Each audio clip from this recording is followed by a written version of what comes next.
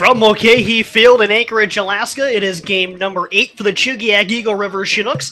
As today they would take on the Anchorage Bucs in the big city. And a happy Father's Day to everyone listening out there. Garrett Mansfield here alongside me is Andrew Alex.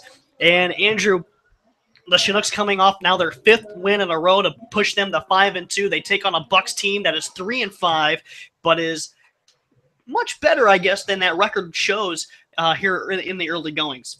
Well, yes, Garrett, this Bucs team is absolutely loaded with talent. But the Chinooks this past week has truly been magical. The Chinooks proving their ability to come back late in games, both in the last game of the Panner series as well as the most recent game against the Bucs.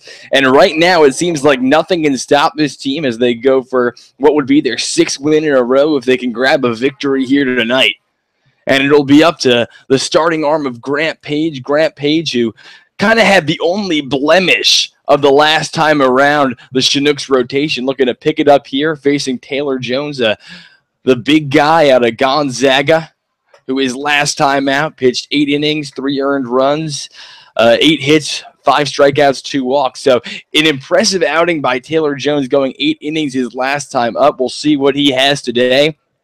But the Chinooks bringing it the Bucs with their loaded lineup here should be a real interesting one on this Father's Day matinee, Garrett. Absolutely.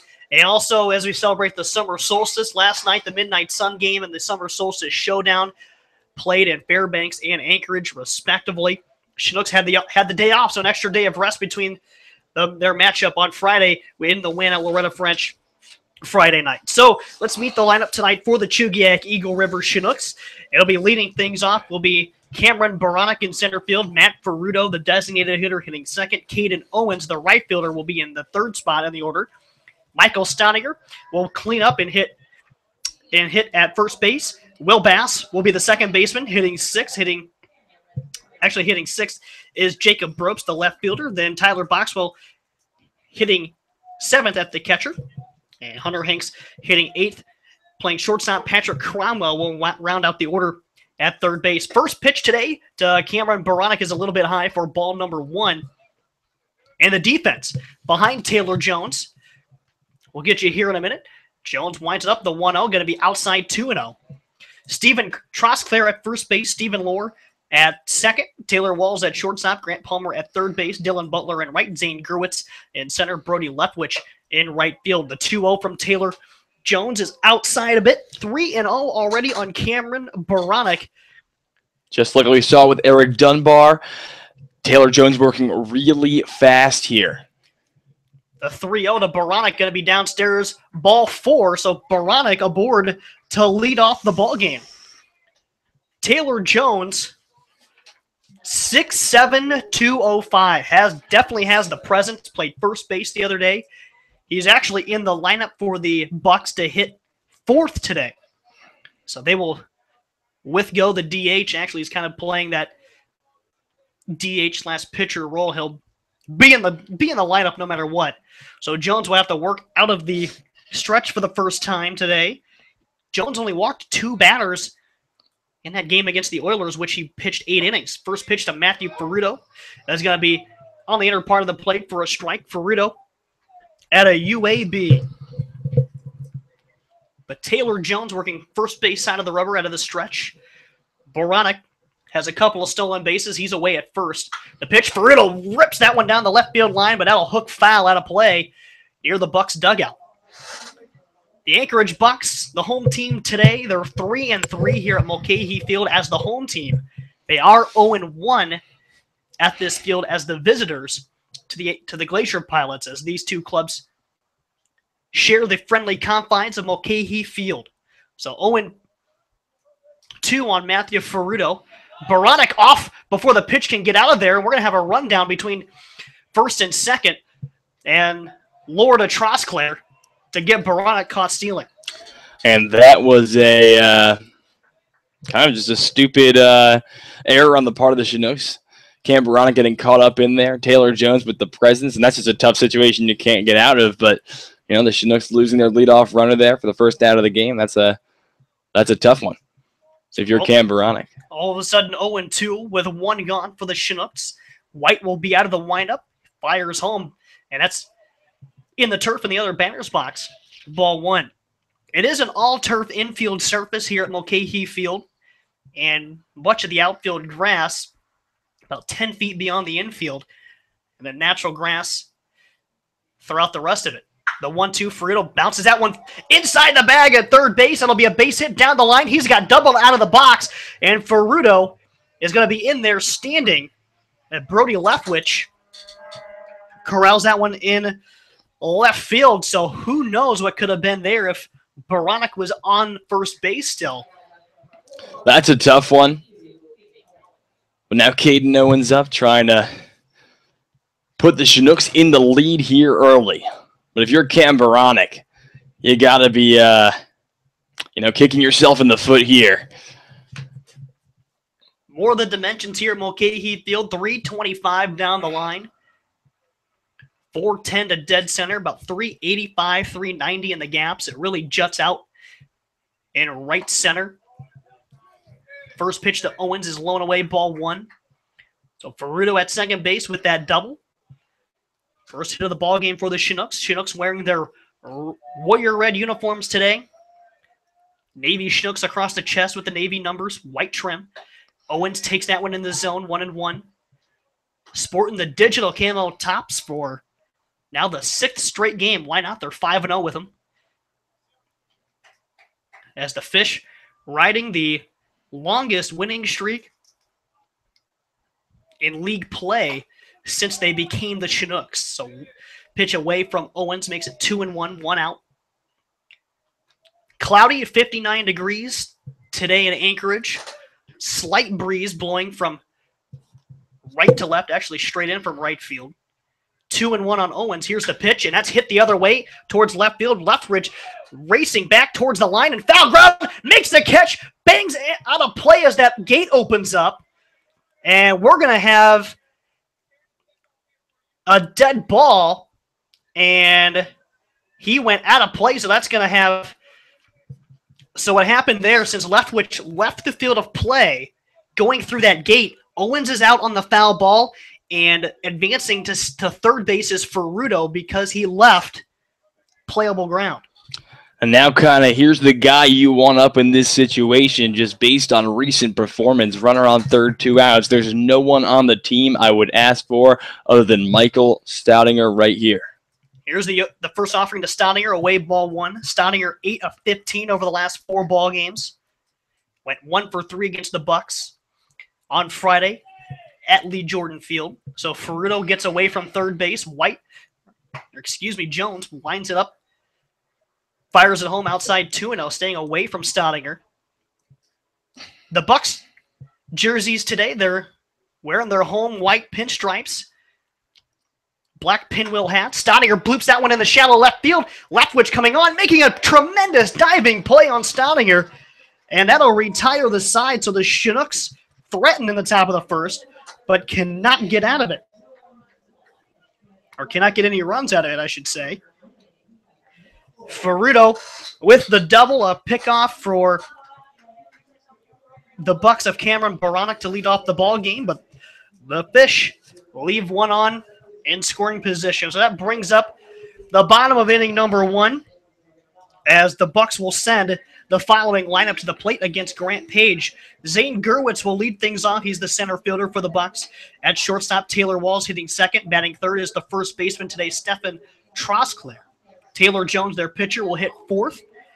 Dylan Butler, the right fielder, in the fifth spot. Nick Warren to do the catching, hitting sixth, hitting seventh. Their third baseman, Grant Palmer. Stephen Lohr playing second base for Anchorage today, hitting eighth and hitting ninth. Left fielder Brody Leftwich, who had a couple of nice plays out there in left field, hanging with it. And of course, Jones, their pitcher. For the Chinooks on the hill today, Grant Page. Page 5'9, 170 pounds out of Stephen F. Austin. A native of Sugarland, Texas, his last time out. Just four innings of work, allowing five runs on six base hits. His ERA is at an even six over six innings of work. And he was the starter in Tuesday's game against the Goldpanners in Fairbanks, where the Chinooks extended. It was then back to back wins, but great pitching out of the bullpen. Got Page off the hook quickly, and the Chinooks came back from behind and won that ball game. The Panners scored four runs in the top of that fir- in the bottom of that first inning.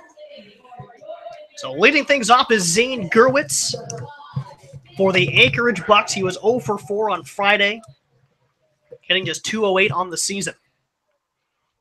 But Grant Page, fastball, curveball, slider, starts at a at an angle from home plate, delivers his first pitch, nips the outer edge for a strike, and we are underway in the bottom of inning number one. Grant Page, he's from Sugarland, Texas. 0-1 pitch. Gerwitz pops one up in the center field. Cameron Baranek racing in, calls everyone off, makes the grab. And that's how the bottom of inning number one gets going. That brings up Taylor Walls, shortstop out of Florida State for the Bucs. Working 0 for 5 in his ABL debut on Friday. But Grant Page working around the zone in his first hitter. Looking much more relaxed. Here's his first offering. A little bit outside ball one. But Page, he was a freshman this past year, was just one and one at Stephen F. Austin and worked 24 innings. Squaring to bunt is Walls, but he takes it back. 2 and 0 the count. Of course, from Stephen F. Austin, he'll be looking for other places to play, of course. That's downstairs 3 and 0. But you never know, he might be back at back with the Lumberjacks in 2015, just kind of feeling things out. So 3 and 1 is the count as he got the 3-0 strike. Here's the 3 1, and Walls bangs it to second base. On a hop, Will Bass. Great backhanded play. Swings it around and throws to first for the out. Will Bass. Very impressive play there at second by Will Bass. And that was just a heads up move. I mean, he, he, a lot of guys would try to reposition themselves weirdly, but Will Bass just quickly backhands it, and with the routine toss to Michael Staudinger, two outs here in the inning now. Stephen Stephen Trosclair to the plate at a Louisiana Lafayette. He's going to swing a pink bat today. First offering from Page is a breaking ball. That's the slider, nips the outer edge. It's Father's Day, but also Breast Cancer Awareness Day here at the ballpark at Mulcahy. So hence the the pink lumber from the first baseman from Louisiana Lafayette today tied with the league league in home runs with the Chinooks Andrew Mong with two. 1 1 from Grant Page up the middle. Going to get by Will Bass, but he just does have it tip off his glove into center field. So that'll be a single for Trosclair. That'll bolster his 222 average. So a two out single. Bringing up Taylor Jones pitching Jones hitting 364 already on the season for the Anchorage Bucs. Let alone he's was a first team all West Coast Conference player with Gonzaga this year. Page delivers outside 1 and 0. And probably one of the bigger height differ disparities I, I would say from one team to the other that you're going to see in the ABL all season long. Page throws over the first. Safely there is Trosclair. Starting pitcher for the the Bucs is right here, Taylor Jones. He stands six seven. Starting pitcher for the Chinooks today is Grant Page. He's just five nine. So 10 inch difference from one starting pitcher to the other. Pitch from Page is bounced to the third base side and foul. Evens it up at one and one. And all indications show that Taylor Jones really came into his own as a hitter this season. He really tore up the, the West Coast Conference, as you said, Garrett, making first team. And he is highly touted coming into this ABL season. Hit 358. Go with five home runs. So Page another check of first base for Trosclair. None doing on there. So Trosclair gets away from first. Page comes set, fires home. Trosclair Claire is moving. The throw down by Boxwell, and not quite in time. It's a stolen base for Steven Trosclair. Puts a runner in scoring position. The Chinooks left a runner at third in the first. But the Bucs trying to get a little bit of magic going of their own here in the bottom of the first inning. But Boxwell is going to call time and run out there and talk with his Stephen F. Austin teammate. And you got to wonder whether it will make a difference here for Page as a pitcher working with Boxwell, his regular catcher from college, versus his last start where he worked with Andrew Mogg, someone who he's significantly less familiar with. Certainly something to keep an eye on throughout today's game. But Page is ready. He comes set. Here's the 2 1 to Jones. It's bounced towards third base, but it'll be wide of the bag. Makes it 2 and 2. Rolling deuces here with two gone in the bottom of the first.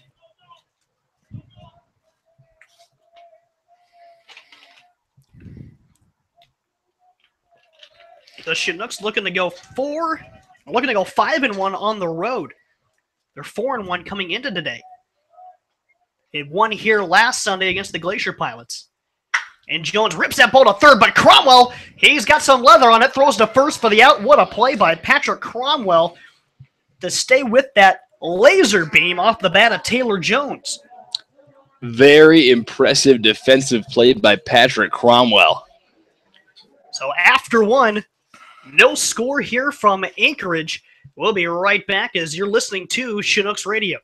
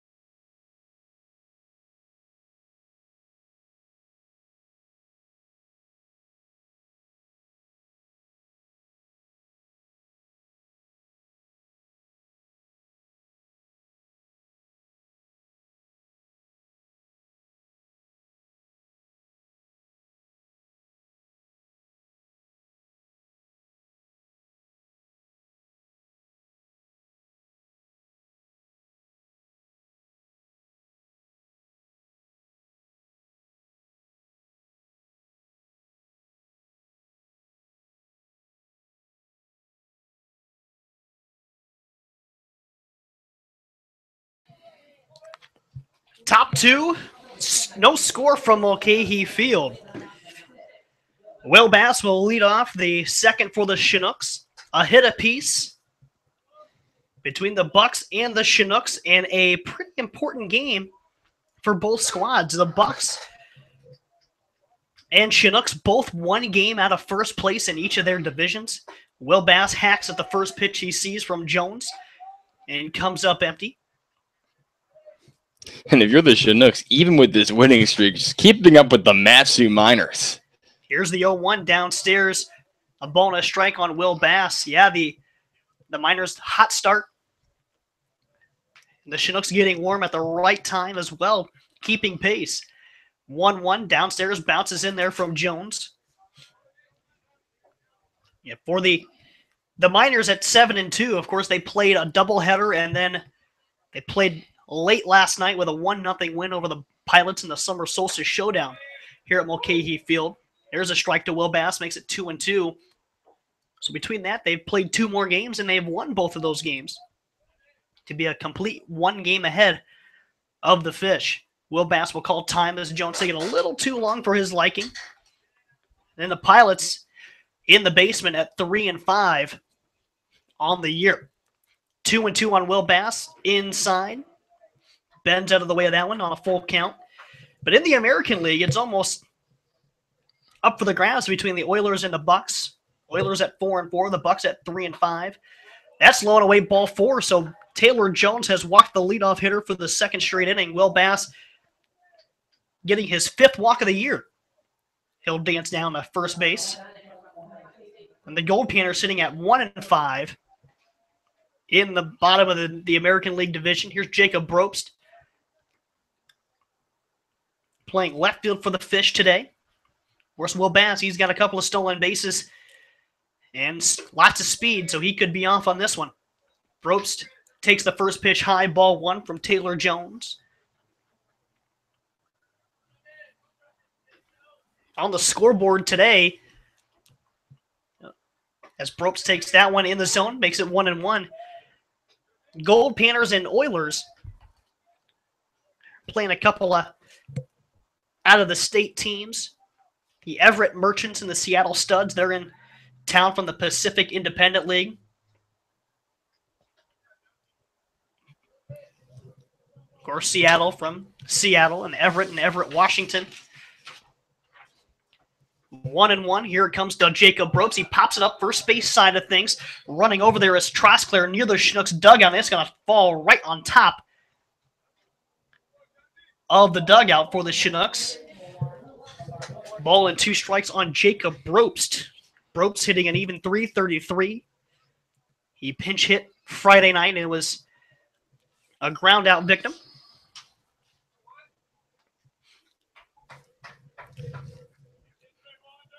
Brobst, the Ohio State Buckeye.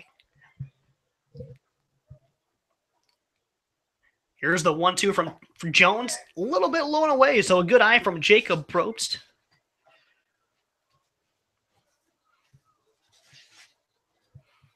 Brobst, a right-handed hitter. Jones is ready. Bass off on the pitch, but Brobst bounced it off at the plate, so we'll stay at two and two. Brobst will be a senior a, a year, or in the fall, that is. One of only a handful of guys that will be a, a year from that will be this next school year for the Chinooks. Of course, we had a lot of guys that were about to be a, about last year. Brobst rolls it left side of the infield, up with it is Walls. Got it for one at second base, but the relay is not in time. So Brobst goes down on the fielder's choice.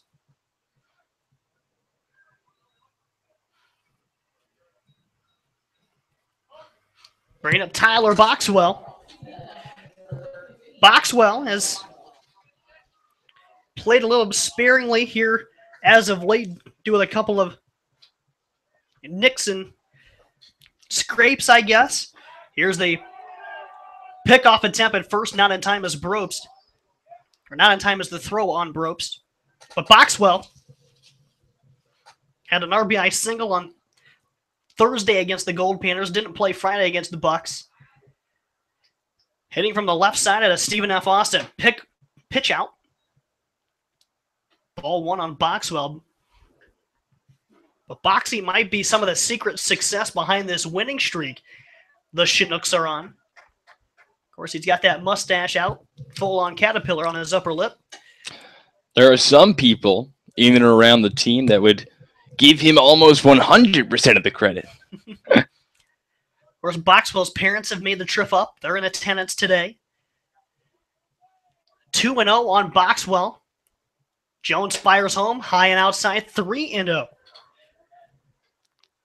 Boxwell in his first year at Stephen F. Austin, after spending his first two years at Chandler Gilbert Community College, where he was coached by Ben Taylor of the Mat-Su Miners. The 3 0 outside ball four. So Boxwell gets aboard, puts runners at first and second as Jacob Brobst advances on, bringing up Hunter Hanks, who Hanks had a very nice night against the, the Bucs on Friday. Went one for three, a couple of RBIs, sacrifice fly to go with it.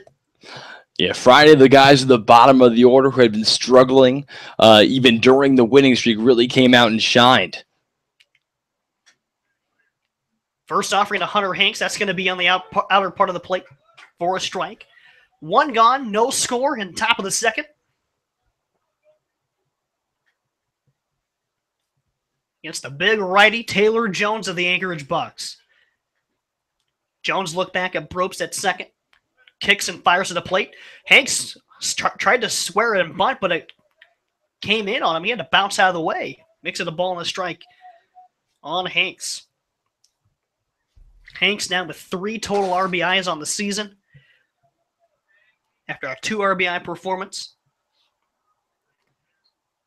Jones is ready, comes home, and Hanks holds up on the swing as he takes high two and one. Patrick Cromwell in the on deck circle onto the top of the order after him. In a scoreless ball game, but the Chinooks are trying to break through, and Hanks with a high fly ball, not very deep to left. Leftwich is under it and makes the catch on Hanks for the second out.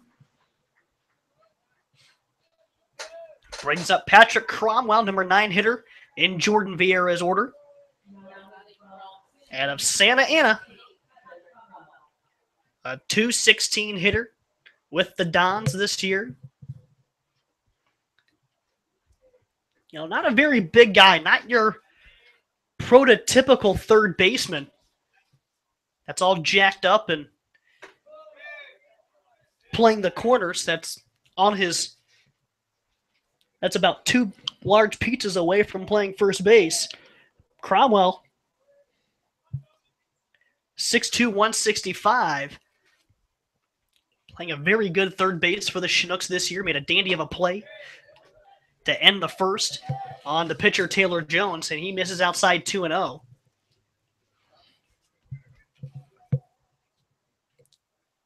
So Cromwell digs back in there. 2 0 to him, and that's going to be downstairs 3 0. So Taylor Jones struggling with his command here early on three walks already on the day, surpassing his two all season so far in just the one start. But two out, so he's just really a pitch out of this one. Cromwell takes that one right down the pipeline, three and one. Cromwell hitting a buck 67, a couple of RBIs to go with him. Trying to help out his pitcher and get him a lead early. And he waves at that one, makes it a full count, so runners will be off. So where even a shallow base hit could potentially score Jacob Brobst from second base. Big pitch here already early in a scoreless contest. Jones is ready, fires home, and Cromwell bangs that one the other way towards left. Leftwich settles under it and makes the catch for the out to retire the side. As we go to the second, bottom of inning number two, that is. For the Anchorage Bucs, they'll have Dylan Butler, Nick Warren, and Grant Palmer do up. So with that, we'll take a look at our out-of-town scoreboard around the Alaska Baseball League. And a scoreless game here at Mulcahy Field. They're also scoreless at Coral Seymour Memorial Park in Kenai as the Oilers and the Everett Merchants are scoreless.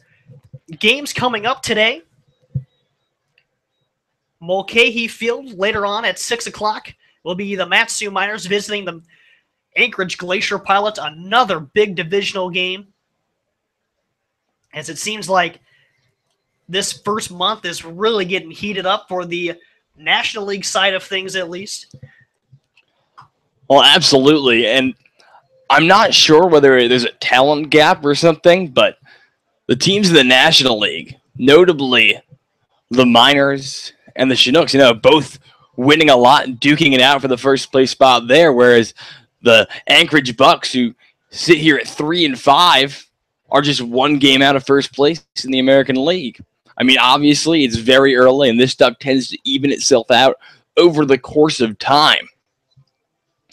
But it would be interesting to see that, especially the the Miners and the Chinooks both to continue to play so successfully.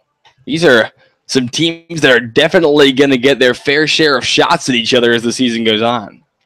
Uh, no kidding. And the Chinooks and the rest of the division will see plenty of each other over the next week or so. The Chinooks with a quick two-game set with the Bucs here in Anchorage, playing again tomorrow night at seven o'clock. Then the Pilots here at seven o'clock Tuesday. Then home at the home with the Pilots on Wednesday. Home with the Miners Thursday. At the pilot or at the Miners on Friday and home with the Pilots again Saturday to close out the week. Here's Dylan Butler. As he will lead off the bottom of the second against Grant Page. Takes first pitch. Curveball inside ball one.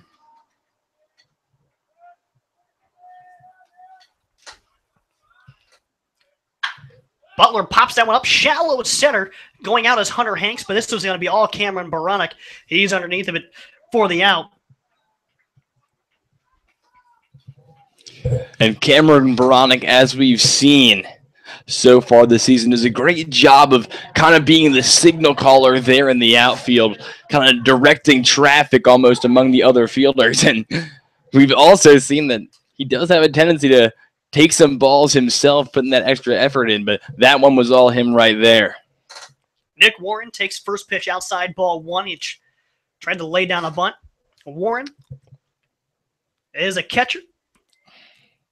With the Bulldogs at Fresno State, hits that one the other way off the end of the bat, right at Caden Owens for the out. So two quick outs for Grant Page here in the second. So we hit on the six o'clock start. MLK, one other game going on later tonight in Fairbanks, it'll be the 110th playing of the Midnight Sun game at Growden Memorial Park at 10:30 p.m. first pitch with the Alaska Goldpanners and the Seattle Studs. Want to know the first pitch against Grant Palmer? Here's the pitch from Page, and Palmer pops it up. Right side of the infield, underneath of it is Michael Staudinger. The first baseman takes care of it. And the Bucs go quickly and quietly. And Grant Page sits them up and down one, two, three in the second. We'll go to the third inning, scoreless from Anchorage. You're listening to Chinooks Radio.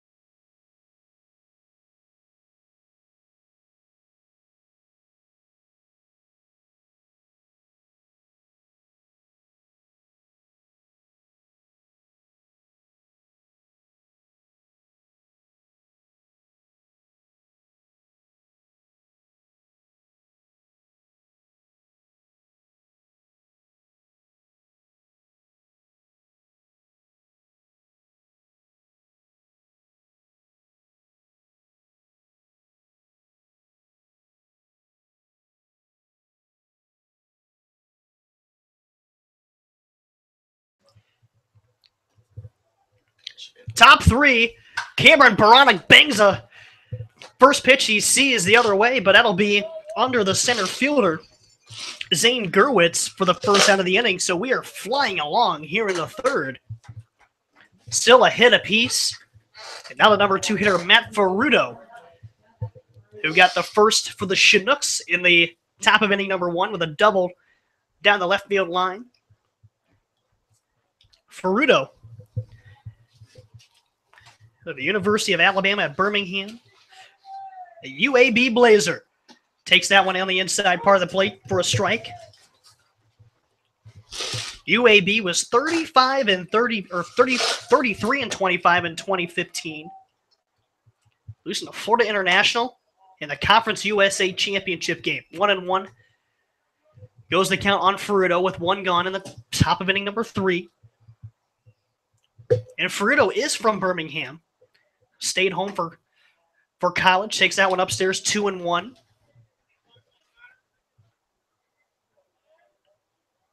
Played in 13 games this past year. He was just one for 11. But that one hit was a double. That's downstairs, three and one on Ferrudo. Collegiately last summer, he played in the Great Lakes for the Lima Locos.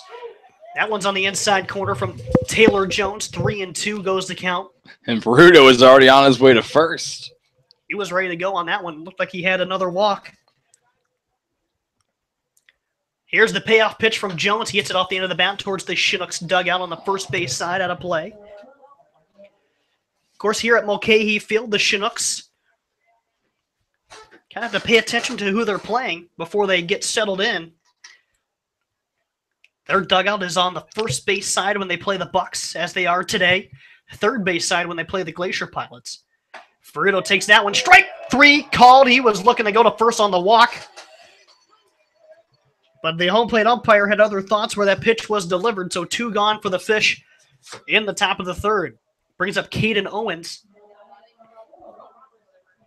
Odin Owens, that is, had a triple on Friday night got caught up with him after the game, and he lines that one in the center field. Back goes Gurwitz. He puts the brakes on and gets underneath of this one for the out. So another quick inning for today's pitching staff. Taylor Jones breezes through the third. His first one, two, three inning. I was talking to Caden Owens after that game, after he hit that triple uh, I was thinking he was triple out of the box the whole way, and I even asked him. I was like, "Hey, was that straight three? And he's like, "Yeah, no doubt, I was going for it." He's like, "I took one look after first base and knew I was I had to make the turn, and he made it there no problem."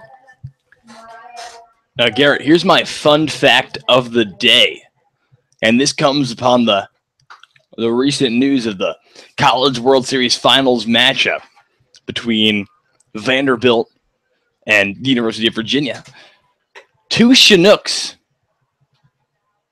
defeated a team in the College World Series. So no matter what happens, the College World Series champion will be defeated by, you know, a Chinooks player's team. Andrew Mogg and Virginia Tech swept UVA in their regular season series, and Lipscomb and Hunter Hanks upset UVA, or not, Vanderbilt, I should say, who was at the time ranked number one in a game – on ESPN. Hunter Hanks got a hit that game, and it was a huge upset in the Nashville area. Lipscomb and and Vanderbilt both being located in Nashville. So, so the like Chinooks, it. by uh, a very flawed version of the transitive property, are the College World Series champions no matter what, Garrett. Stephen Lohr from Cal Baptist will lead off the bottom of the third for the Anchorage Bucs. Still no score in this one. Lohr is just four of ten on the year. And he squares the bunt, but takes it, goes to the backstop for ball one. Lohr got on base quietly three different times on Friday with a single. He was then hit by a pitch and also walked in four at bats. He drops a bunt down the third base side, could be trouble, and it'll go foul. Woo. Patrick Cromwell looked like he was gonna try to make the bare hand grab, but he skipped over it, and it skipped just wide of the the stripe along the first base side, so it makes it one and one. So Stephen Lohr, six feet, 200 pounds, from Buena Park, California. He was 335 hitter for the Lancers this year. Takes it upstairs, two and one. the Lancers of Cal Baptist. Of course, that's a Division two Pac West school playing in the same conference as Azusa Pacific and Point Loma. And he hits a thunderous drive to left field, but not too deep for Jacob Ropes as he's on the warning track, makes the catch. But Lohr put a charge into that one off the arm of Grant Page and sent it to left. Now here's Brody Left Leftwich, a six-one sophomore to be out of the University of Tennessee. He's from Baltimore, Maryland. Hit 219 as a freshman at Tennessee over 28 games with the Vols. Turns, squares the bunt, drops at third base side, but that ball goes foul. Second batter in a row for the Bucs looking to get aboard via the bunt. Of course, how many Tennessee volunteers have come up here and played in the ABL? Uh, last year, for the Bucs, Johnny Youngblood, Brett Marks, Peter Lundstrom on the team. Here's the 0-1 to Leftwich. He takes it downstairs, one and one. Now, Garrett, I, not exactly sure what the rule is, but there is a maximum number of players on one college team that can play for one Alaska team, right? Uh, not not specific on my end. I don't know that one, but Tennessee has certainly had the, their fair share as Leftwich bangs a double down the left field line, and he'll be in there standing. So Leftwich just one of 15 coming into play today. Has a double in his first at bat, and the Bucs have a runner in scoring position with one gone. That snaps a streak of five in a row, sat down by Grant Page. So now Zane Gurwitz, the center fielder from the University of Texas, coming to the plate for the Bucs his first time around. He flew out to center field. Gurwitz, the Big 12 most outstanding most outstanding player, fouls it back over the first base side of things. Went 8 for 13. Hit 260 this past year. His grandpa, Robert Gurwitz, he was a former running back and DB for the Longhorns. So Gurwitz carrying on the Gurwitz name at Texas in their athletic department. And Leftwich started to go, and Grant Page had to step off. And he goes back to second base.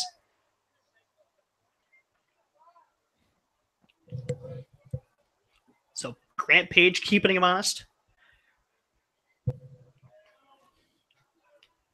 Page is ready, sets belt high, kicks and fires home. That's in the dirt, blocked by Boxwell. Off on the pitch is Leftwich, and that's he's going to be in there head first safely as the throw kind of got away from Boxwell, but that he had that base anyways.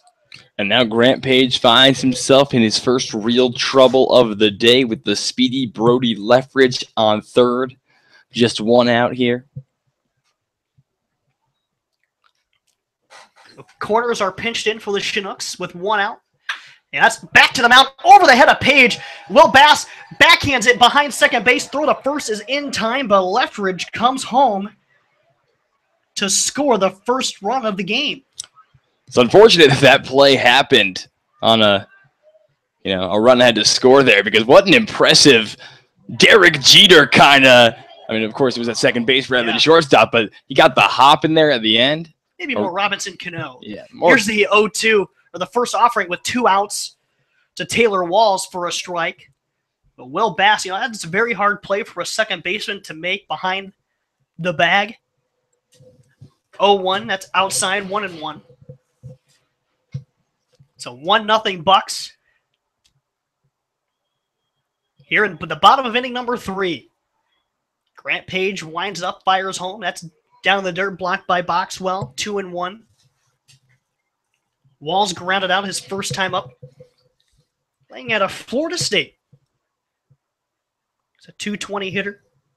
Got on base at 373 with the Seminoles. Fouls that one off at the plate, two and two. Of course, the Noles had to go this year without their closer. and Jameis Winston. Didn't matter though. They were 44 and 21. Good year for the Noles.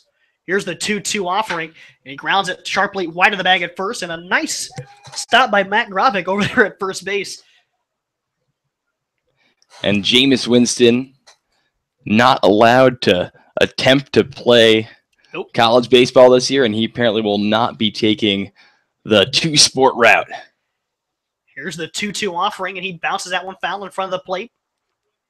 It'll settle over there near the third base side. The two sport route, famously taken by Deion Sanders, Bo Jackson. Bo Jackson. Bo Jackson, probably most notably, Yeah, at least in terms of success at both Exactly.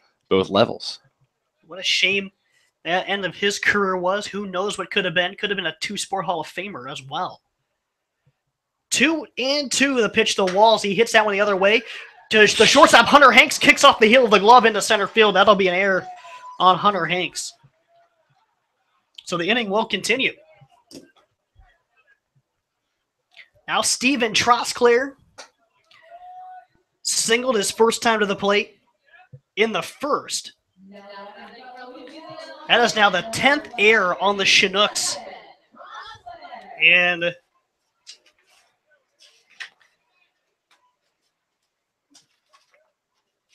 actually the ninth over the last three games.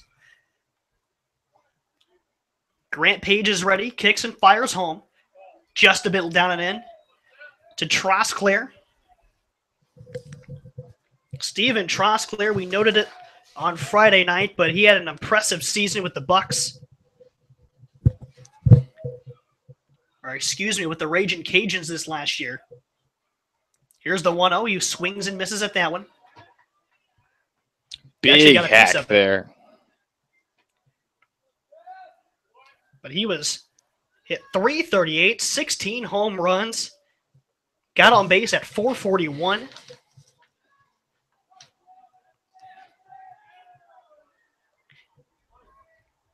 And Louisiana Lafayette well represented here with the Anchorage Bucs. They were last year as well. One and one, Grant Page on him. High and outside, two and one. Trosclair spent his first two years at LSU Eunice. They won the JUCO Division II national title this last year. But he was a first team All American with the LSU Eunice. Here's the 2 1 to Trosclair. High. Throw down on the steal is going to be wide of the bag on the shortstop side of second base. So Taylor Walls will steal that one. So now second base, 3 1 count on Trosclair. Two gone for the, the Bucs in the bottom of inning number three. Already a run home. Grant Page is ready. Kicks and fires. Runner goes again. That's in there. Boxwell's throw down to third. Not in time. So Walls will steal now third base, and Trosclair will walk. First and third, two outs for Taylor Jones. Not the guy I think I would want to see right here. No, no, And- no. Quickly, Chris Beck's going to pop out of the first base dugout and make a visit to the mound. Chris Beck. A hap- happy Father's Day to Chris. All three of his sons are in attendance today with their mother, Danielle. Of course, his son, Ty, is the bat boy for the Chinooks. Ty BB Beck. Back in 94, uh, quite a while ago, almost tw- well, it was 21 years ago. Chris Beck led the the nation in strikeouts at the Masters College, where he was then drafted by the Seattle Mariners. So he'll get back to the dugout. Also doubles as the general manager for the Chinooks, as well as the pitching coach. Settle down, settling down Grant Page. First pitch to Jones, swung on, bounced to short.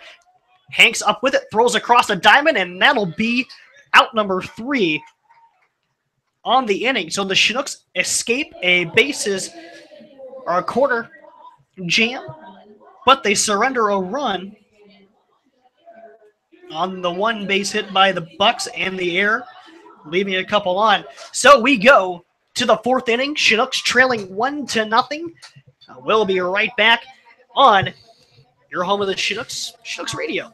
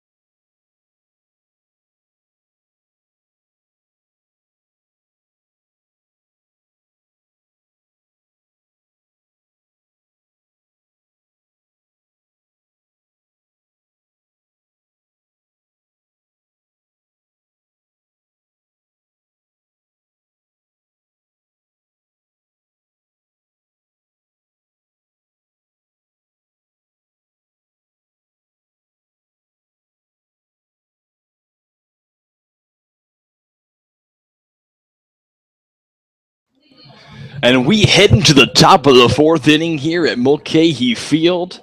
The score one to nothing in favor of the Anchorage Bucs. Leading off for this inning for the Chinooks will be Michael Staudinger. The first pitch to Staudinger is popped foul out of play. The count 0 and 1. Staudinger, 8 for 15 over his last four games. Impressive. The 0 1 to Staudinger, taken, nipping in the inside corner there, and Staudinger behind in the count 0 and 2 now. The 0 2 pitch, taken high, way upstairs, ball one. So the count 1 and 2.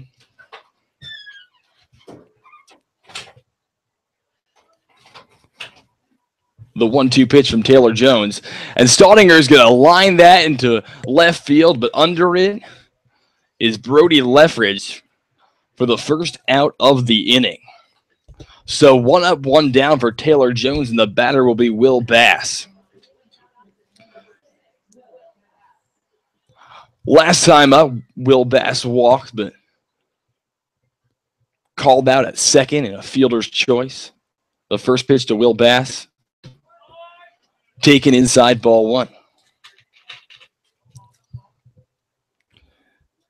Will Bass batting 208 on the season. And Will Bass takes it again. Quickly ahead in the count, 2 0 here. The 2 0 pitch from Taylor Jones. Taken again high.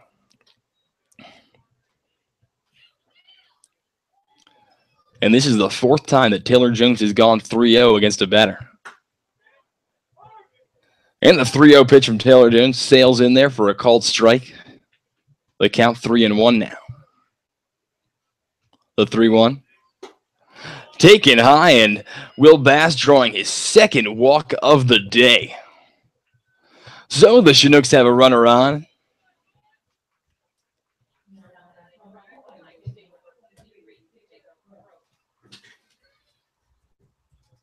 And the batter will be Jake Brobst out of Ohio State.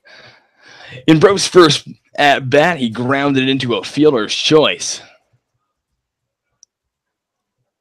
The first pitch of Jacob Brobst is lined into center field, and Jacob Brobst with his first hit of the day, the Chinooks' second hit of the day. So the Chinooks have runners on first and second with one out here, and the batter will be Tyler Boxwell. Boxwell with just one hit on the season, but it was big.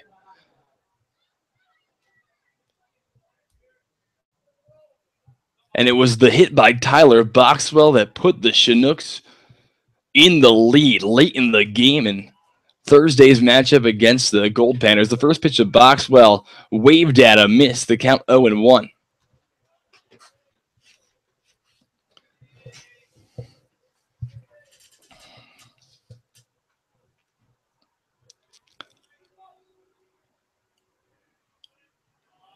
And Jones checks back, Will Bass back a second.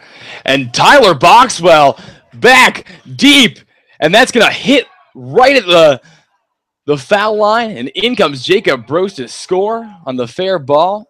Not Jacob Brobst. Check that. Will Bass in to score. But Tyler Boxwell right on the right field foul line for a fair ball. Deep in there. And Boxwell standing with an RBI double, and Tyler Boxwell has tied this game at one run apiece. And the batter now is Hunter Hanks. The first pitch to Hunter Hanks taken high, ball one.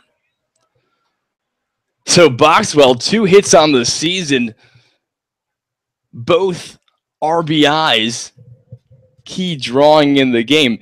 Foxy Boxy as they call him. And I don't know what was more impressive. Was it his pure baseball ability or did his mustache physically drive that ball into the outfield? Could have been a little bit of both. I thought that had a chance to get out of here when it was right off the bat. I almost got nervous as to whether to go into a home run call, but there, Hunter Hanks lines that one into left field, and in comes Jacob Brobst to score, and the Chinooks take the lead two to one. Hunter Hanks the RBI single. And Hunter Hanks, after struggling in the first week and a half of the season, has really come into his own over the past two, three games.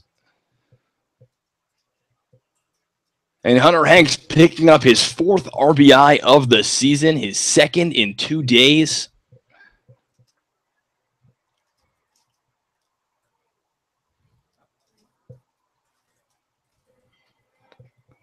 And now in the top of the fourth inning, fourth inning magic here for the Chinooks. Anything past that is fair game for a, a big inning.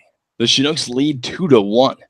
The batter, Patrick Cromwell, runners on first and third, and Boxwell coming home on the bunt, and Tyler Boxwell is going to come in to score. And Patrick Cromwell safe at first. The squeeze bunt attempt.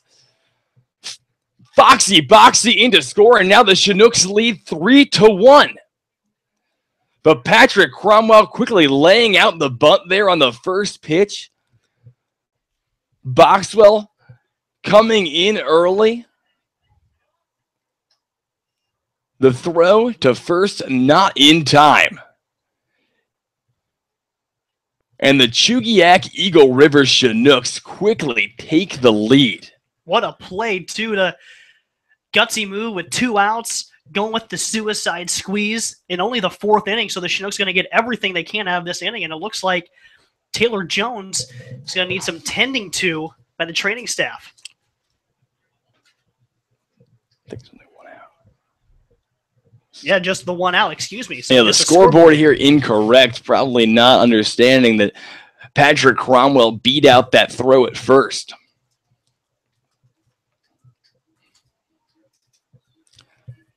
But impressive work by the Chinooks here this inning. And it looks like they're going to call it a day for Taylor Jones, the walking off with the trainer after a mound visit from the manager, the entire infield in there. So we're going to step off for a second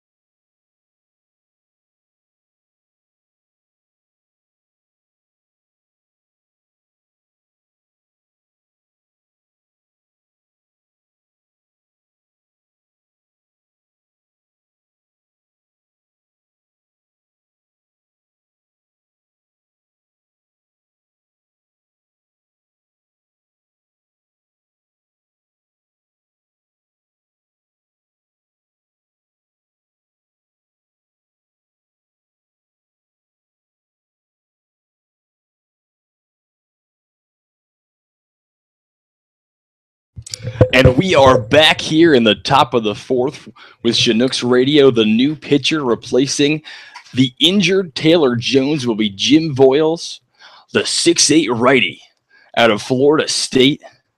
This season at Florida State, Voiles posted a 2.63 ERA over 27 innings, 27 strikeouts. He is one of two Voiles brothers at Florida State as and they both play on the Bucs this summer. Twins, actually. They're twins, yeah.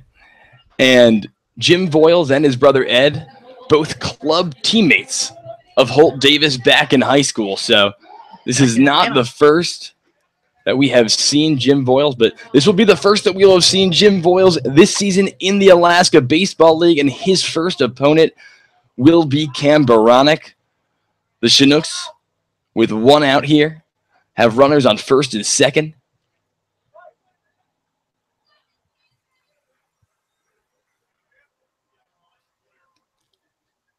And Jim Voiles' first pitch to Baranek will be in there for a called strike. The count 0 1. Baranek walked his first time up, flew out to left his second time up. The 0 1 taken on the outside. The count evens up at 1 and 1.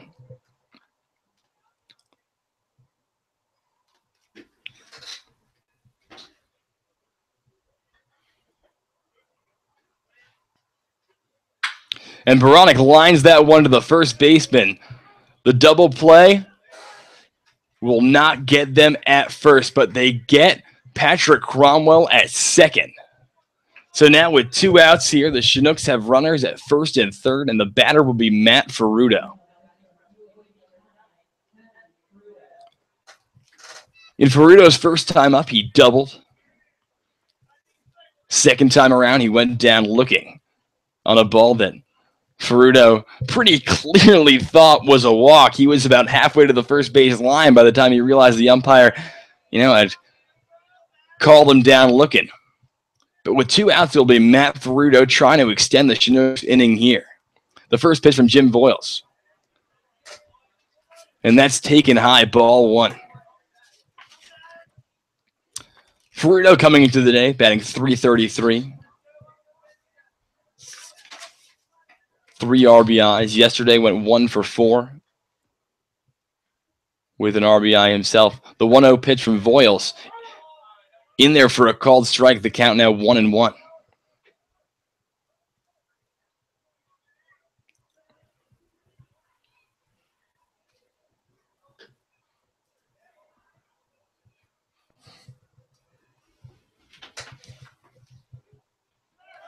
And Cam Baranek's going, but Matt Ferrudo lines that one into left field.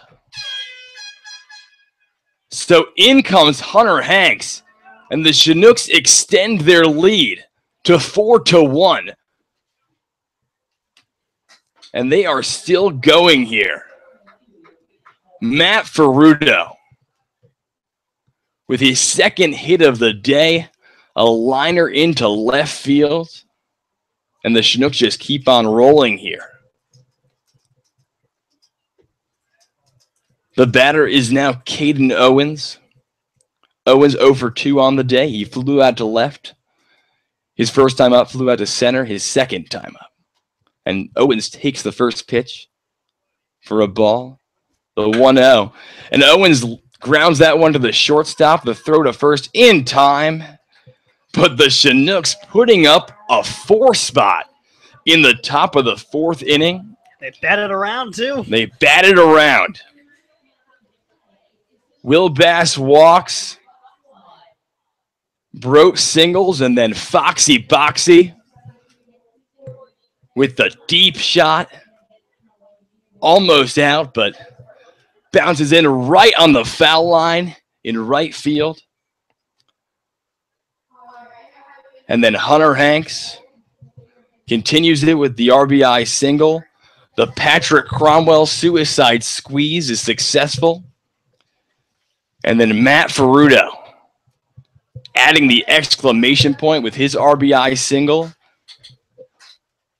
The Chinooks lead four to one. Well, you know, one thing looking at it, the the Chinooks with just you know a handful of extra base hits all season long, seven to be exact, through seven games, and then they get two in one in, or in one game so far. Ferrudo with a double, and then Boxwell the big knock, and that's really I think where it started. The big hit from from Boxwell, you know, jump starting this offense, and you know we hit on it a little bit earlier that guys in the bottom third of this order that are kind of struggling, and, and Boxwell is, is one of them. You know, hitting a little further down in the, in the order, and, and when he when he's in the lineup, he came up there and just socked that one, and gave the Chinooks a, a tie early in that order and uh, early in that inning, and then they just never take their foot off the gas. And you know, innings like that is what is going to fuel these guys all season long, and whatever it is, it's working right now. So now Grant Page with a little bit of uh, run support to work with here in this first batter he'll face here in the bottom of the fourth. Dylan Butler. Page's first pitch to Dylan Butler taken low and outside for ball one. But we're here in the bottom of the fourth. The Chinooks leads by a score of four to one. Page's 1-0 pitch taken for a called strike. The count one and one to Dylan Butler. Butler's first time up, he flew out to center. And Butler's going to hit a fly ball right into center field, but Cam Baranek under it makes the grab for the first out of the inning. You know, that's always tough to do as a pitcher. Like Grant Page, you know, sitting, you, you had to sit for a while through that inning. You had to see see nine of your teammates go up there and hit, and more oftentimes than not, the pitcher that has to sit for a while, they you know they get a little iced and they come out and might give up an inning similar to the one their counterpart just surrendered. So now the batter, the catcher Nick Warren, out of Fresno State, one for eight on the season. His first time up, he flew out to right field. And the first pitch to Warren was fouled back into the screen. So the count 0 1 here on Nick Warren, the Fresno State Bulldog. And the 0 1 pitch from Grant Pages Going to be a fly ball. Under it is Caden Owens. As him and Cam Baranek cross paths in right center field. But Owens makes the grab for the second out of the inning. So quick work here by Grant Page. And now the batter, Grant Palmer. Palmer one for 12 on the season, the third baseman out of UC Irvine. His first time up, he flew out to first and the first pitch to Grant Palmer is fouled out of play on the first base side to the count 0 and 1.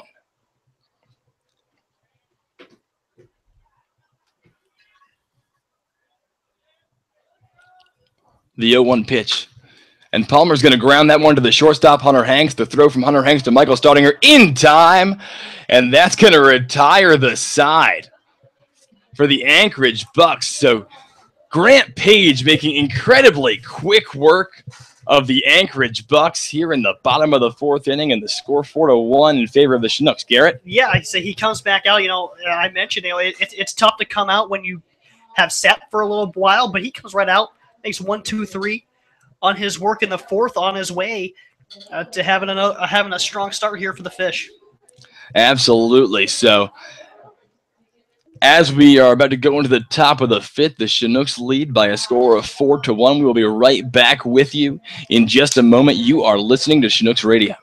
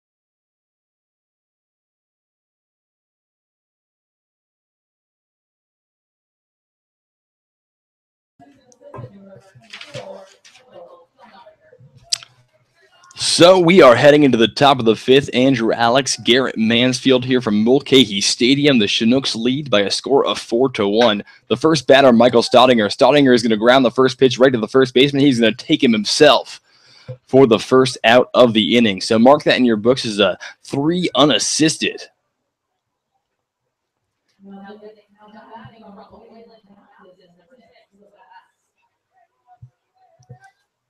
So now the batter, Will Bass. Will Bass has drawn two walks today. He scored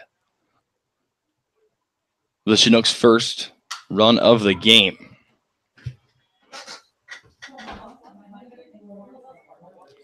The first pitch to Will Bass is fouled off. The count now 0 1. The 0 1 pitch to Bass. And Bass grounds that one right up the middle, gets past the second baseman. So Will Bass in there with a base hit, his first hit of the day. And the Chinooks again with a man on under two outs, trying to extend this lead and extend this winning streak to six games. Now the batter, Jacob Brose. Brose, his last time up, singled, came in to score. The first pitch to Brose in there for a called strike. So the count 0 and 1. One out here in the top of the fifth inning. Man on first. The Chinooks lead 4 to 1. Voiles checks Will Bass back up at first. And in case you missed it, the starting pitcher Taylor Jones coming out with an injury.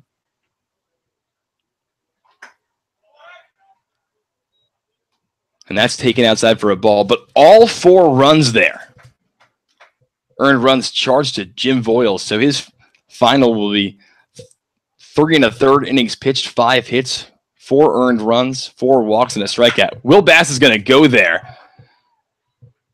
Brose grounds that one to the shortstop, but the steal attempt by Will Bass taking the double play out of the picture. But the second out of the inning made there by the shortstop, Taylor Walls, in the 6 3. So now two down here. Foxy Boxy, the batter. Foxy Boxy walked his first time up with the RBI double, his second time up. The first pitch to Boxy, taken on the inside, ball one.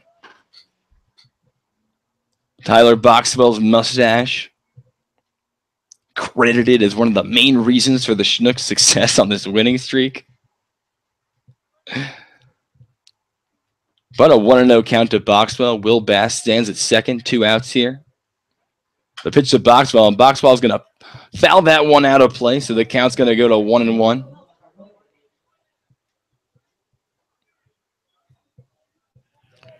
Boxwell 2 for 10 on the season, but those two hits have been huge. The 1 1 to Boxy. In there for a called strike. So now Boxy falls behind one and two here. Two outs here in the top of the fifth inning.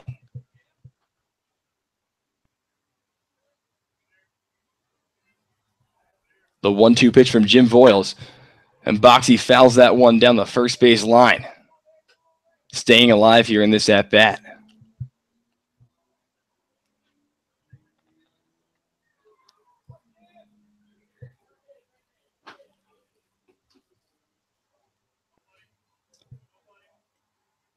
One, two again.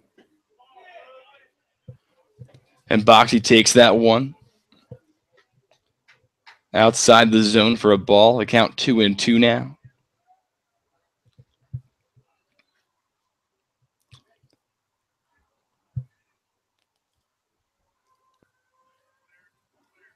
And here comes the 2 2. And Boxy lines that one into center field. Around third comes Will Bass and he's going to be held up at third late by Jordan Vieira. Because Zane Gurwitz with the cannon out there in center field. And Will Bass, as quick as he is, would have been toast at home. But Tyler Boxwell with his second hit of the day. Foxy Boxy. The man with the mustache. So runners at first and third here, two outs. The batter, Hunter Hanks. Hunter Hanks, last time up, singled, grabbed himself a, an RBI, his fourth of the year. And the first pitch to Hunter Hanks taken low and outside, ball one. Hunter Hanks out of Lipscomb, the Lipscomb Bison. And Hunter Hanks is going to ground that one to the shortstop, Taylor Walls. The play is to second, the forced out in time. So that's going to retire the side for the Chinooks. So the Chinooks unable to score in the top of the fifth, but they grab themselves two more hits. And we are in the middle of five. The Chinooks still lead by a score of four to one. Garrett? Yeah, they've done so on seven, or now, actually now eight base hits, and you know they're almost to their their season average of four and four point eight runs a game. It's just one of those things where the, the offense just keeps on going and the pitching just continues to you know, stifle these Bucs bats. And Grant Page is going to go out there for his fifth inning of work, and if he completes this inning, he'll be in line to win this one if the score holds tight. And it, for me, it's it's just very impressive to watch how they're not settled with, you know, the one big inning because who knows at any time, especially with the talent on this Bucs roster, they could storm right back in a hurry. So Grant Page, due to see Stephen Lohr, Brody Leftwich, and Zane Gurwitz at the minimum this inning. But like you said, Garrett, this Bucs team, the potential that their bats have, you know, you walk one guy, let up a hit, and then Trosclair can step up and tie the game with one swing of the bat. So the key for the Chinooks is they cannot be satisfied. They got to keep fighting every single inning. Until this one is in the books. But Grant Page through four innings of work, one run, two hits, and one error in the field. And he will face Stephen Lohr. Stephen Lohr's first time up, he flew out to left field. And the first pitch of the inning from Grant Page is going to be lined into right center by Stephen Lohr. Stephen Lohr in there with a single. So the third hit allowed by Grant Page this game. And the Bucs have a man on. Nobody out here. So the batter Brody Leftwich, Brody Leftwich first time up, he doubled, eventually coming around to score the Bucs only run of the game so far. But Leftwich just 2 for 16 out of on the season. The left fielder out of the University of Tennessee. Grant Page's first pitch is bunted down the first base line. Grant Page's throw to first in time, but the sacrifice successful by Brody Leftwich.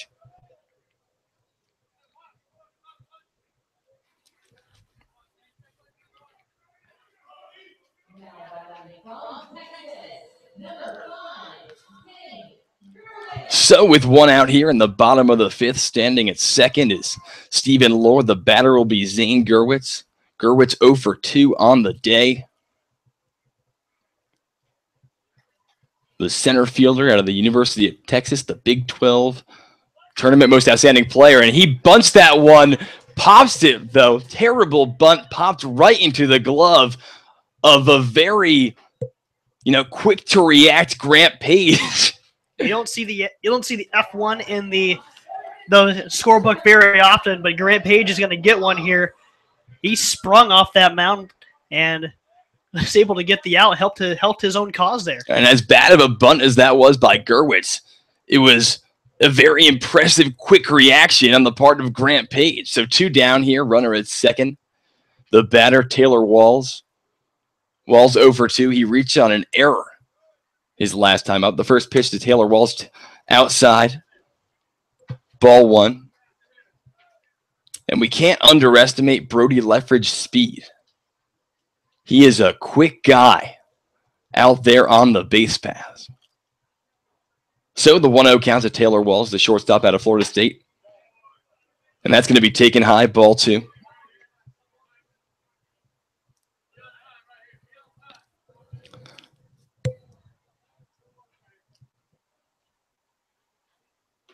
So Grant Page takes his sign from his catcher Boxwell, his lumberjack teammate, looks back at Leftwich at second. The pitch outside again. So Grant Page falling behind 3 and 0 to Taylor Walls.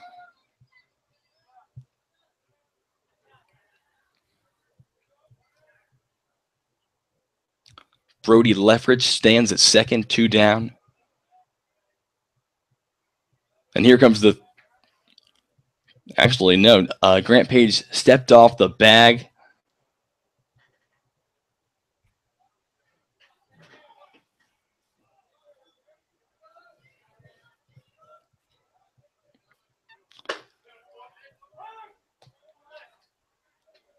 The 3 0 from Grant Page in there for a called strike.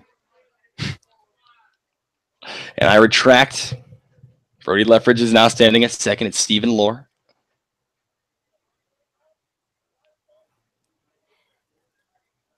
So here comes the 3 1 pitch from Grant Page, and that is a fly ball deep into right center field. Under it is Cam Baranek, makes the grab for the third out of the inning. So Grant Page unscathed again here in the bottom of the fifth. And as we head into the top of the sixth, the score four to one in favor of your Chugiak Eagle River Chinooks. We will be right back. You are listening to Chinooks Radio.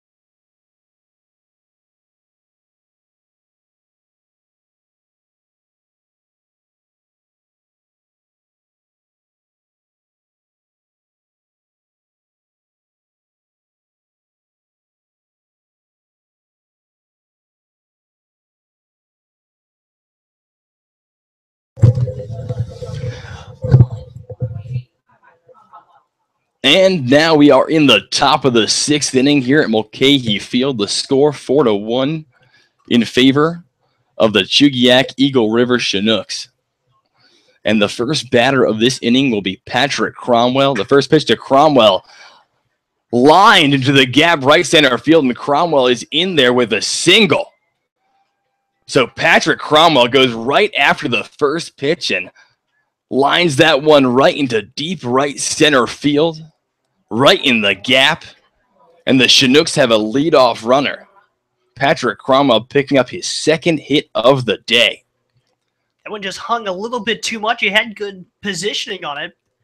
A little bit too much backspin to keep it in the air.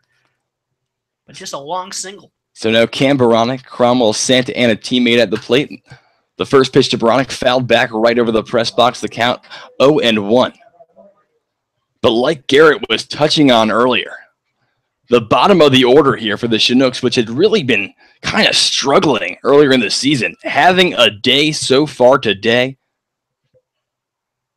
Two hits for Boxy, two hits for Rich Homie Crom. Hunter Hanks picking up the RBI single and scoring. So on a day where Michael Staudinger He's going over three. The weight is being picked up elsewhere in the Chinooks order. Here's the pitch to Baranek, and that's fouled back again. And Baranek quickly falling behind 0 and 2.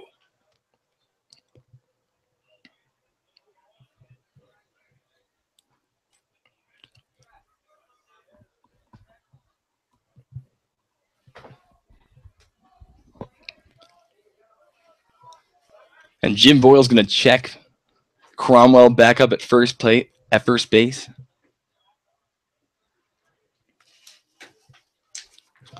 But the Schnooks going through their fourth time through the order now. Starting here. The 0-2 pitch from Jim Voiles. Low and inside ball one, so the count one and two. Cam Baranek, 0 for 3 on the day, or 0 for 2 on the day. Flew out to left and grounded into a fielder's choice. And Baranek fouls that one again.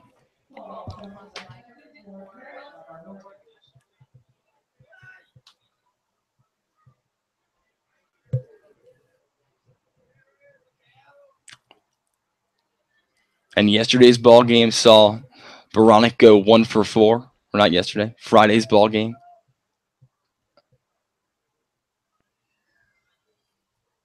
The one two. Fouled right off of Cam Baranek's foot. That's got to hurt.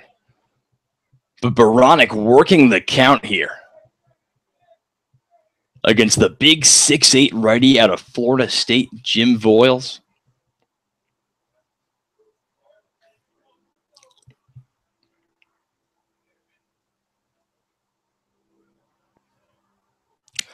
The one-two pitch, and Baranek lines that one into left field, but hooks foul into the bullpen.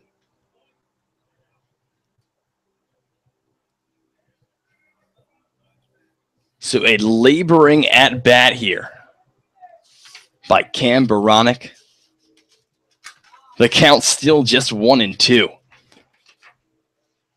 But Cam Baranek working hard to do everything to stay alive here in this at bat. The one two again. And Baranek fells it off again.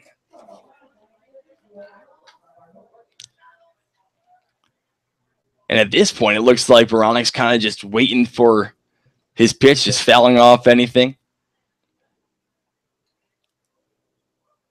Anything questionable? Waiting to see if he can get Voiles to put one out over the plate for him. And Baranek takes there a ball to count two and two.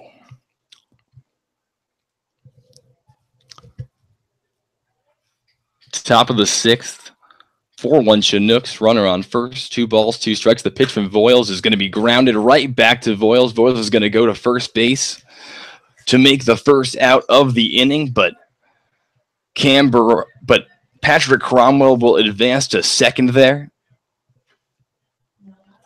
So now with Matt Ferrudo at the plate, the Chinooks have a runner on second, one out, leading four to one here.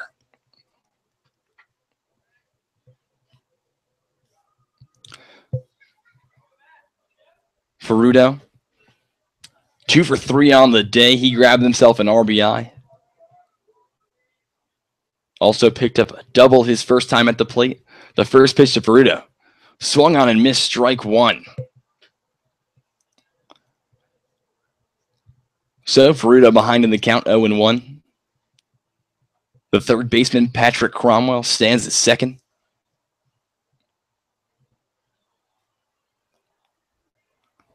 The 0 1 from Voiles. Taken on the inside, ball one. So the count's going to even up at 1 and 1 there.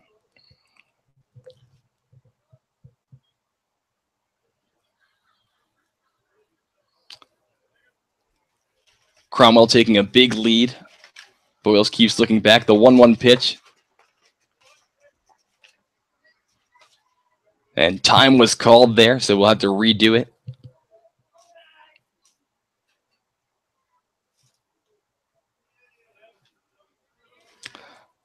So Voiles looks to the sign from Nick Warren. Looks back at Cromwell. Cromwell dancing at second. The pitch, and that's in the dirt. And Cromie, for a second, decides to maybe go, but immediately retracts that, realizing that Nick Warren was all over that ball. So the count two and one here. The batter, Matt Ferrudo, out of the University of Alabama, Birmingham, the pitch. And that is fouled down the first base line. So the count will be two and two. Still just one out here in the top of the sixth inning. The Chinooks leading four to one.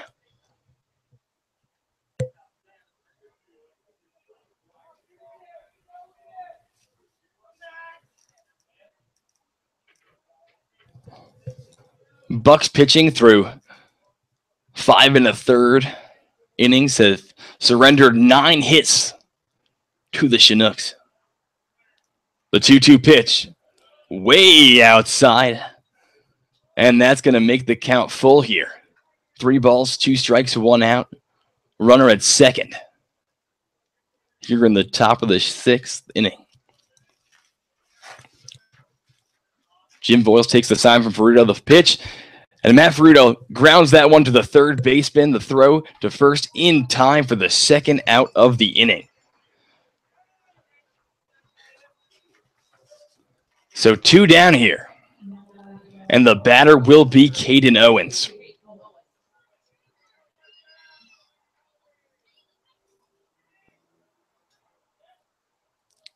Owens 0 for 3 on the day. the right fielder out of Oral Roberts. The first pitch to Owens, taken on the outside, ball one. Owens held off his swing there. The umpire says he didn't go. So the count 0 and 1.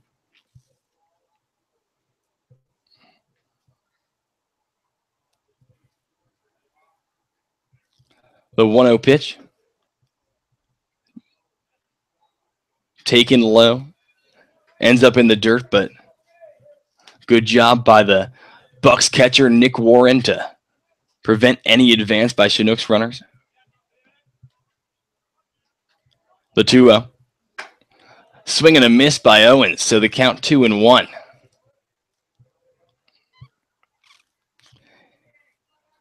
And even though the Chinooks have only mustered up one hit so far this inning, which was a a first pitch.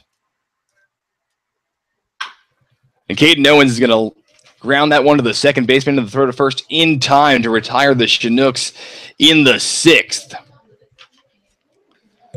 So we're in the middle of six. The Chinooks still lead by a score of four to one. And it'll be interesting to see if Grant Page comes out for his what would be his sixth inning of work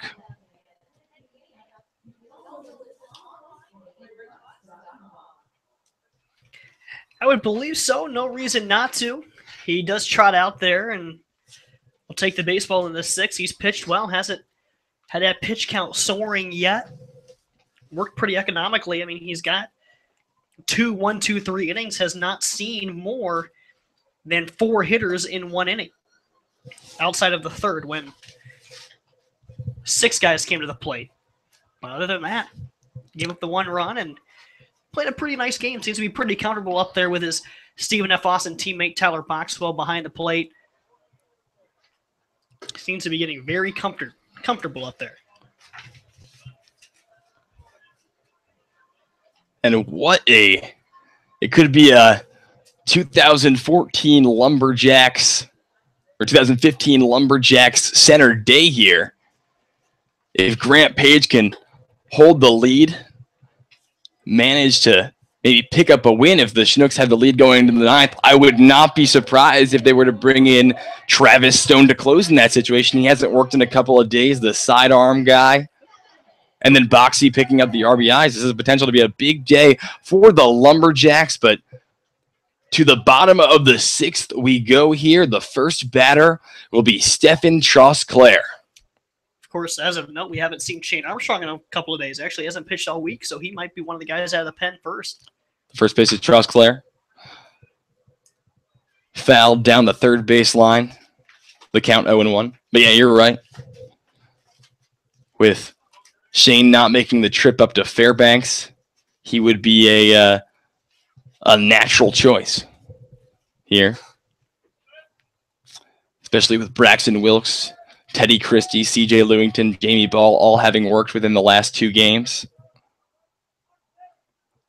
The 0 1 taken outside, ball one, evens the count up at one and one to Trosclair.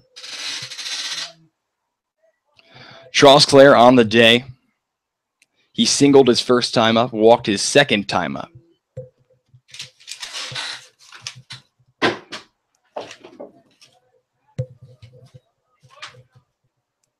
And that's fouled back the count one and two.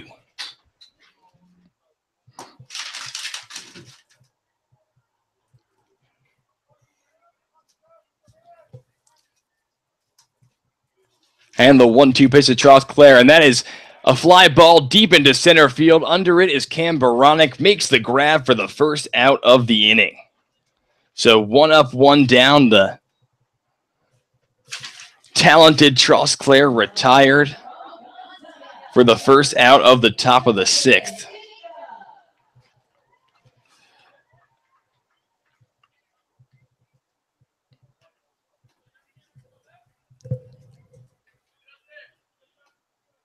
And Justin Jacobs will be the designated hitter batting in the spot of Taylor Jones. Justin Jacobs, also from Gonzaga, the sophomore from Auburn, Washington. The first pitch to Jacobs taken outside for a ball. The 1 0 taken again. Grant Page quickly falling behind 2 0 to the likes of Justin Jacobs. The 2 0 pitch. And Jacobs pops that one into deep right field. Under it is Jacob Brobst, makes the grab, the second out of the inning. And Grant Page, Garrett, has forced a lot of pop ups. Yeah, he really has. And whatever he's done, he's he's gotten to work. Of course, the whole second inning was flyouts. He's been able to keep everybody in the yard. You got to strike a guy out. So with two down here in the bottom of the sixth, Dylan Butler, the batter, in both of his trips to the plate, Dylan Butler popped out to Cam Baranek in center. And that's taken in there for a called strike, the count one and one. Dylan Butler out of the University of Louisiana Lafayette. And the 1 1 pitch skips in the turf but no runners on. Not going to matter. Just going to be in there for a ball. So now a 2 1 count on Dylan Butler, the right fielder. And here's the 2 1 from Grant Page. And that is popped up way high. Might go out of play. Staudinger makes an effort, but that's going deep into the stand. So the count's going to be 2 and 2 to Dylan Butler.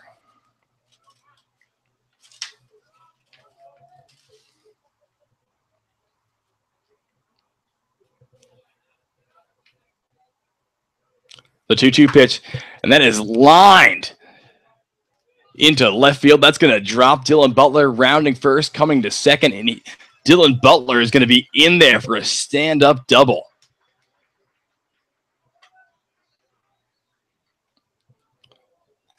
So the Bucs grab their first hit of the inning, a stand up double off the bat of Dylan Butler. So now with a runner on second, two outs. Nick Warren steps up to the plate. Nick Warren 0 for 2 on the day. He flew out to right both of his times up. The catcher out of Fresno State. Grant Page looks back to second. The first pitch taken for a ball. The count 1 and 0.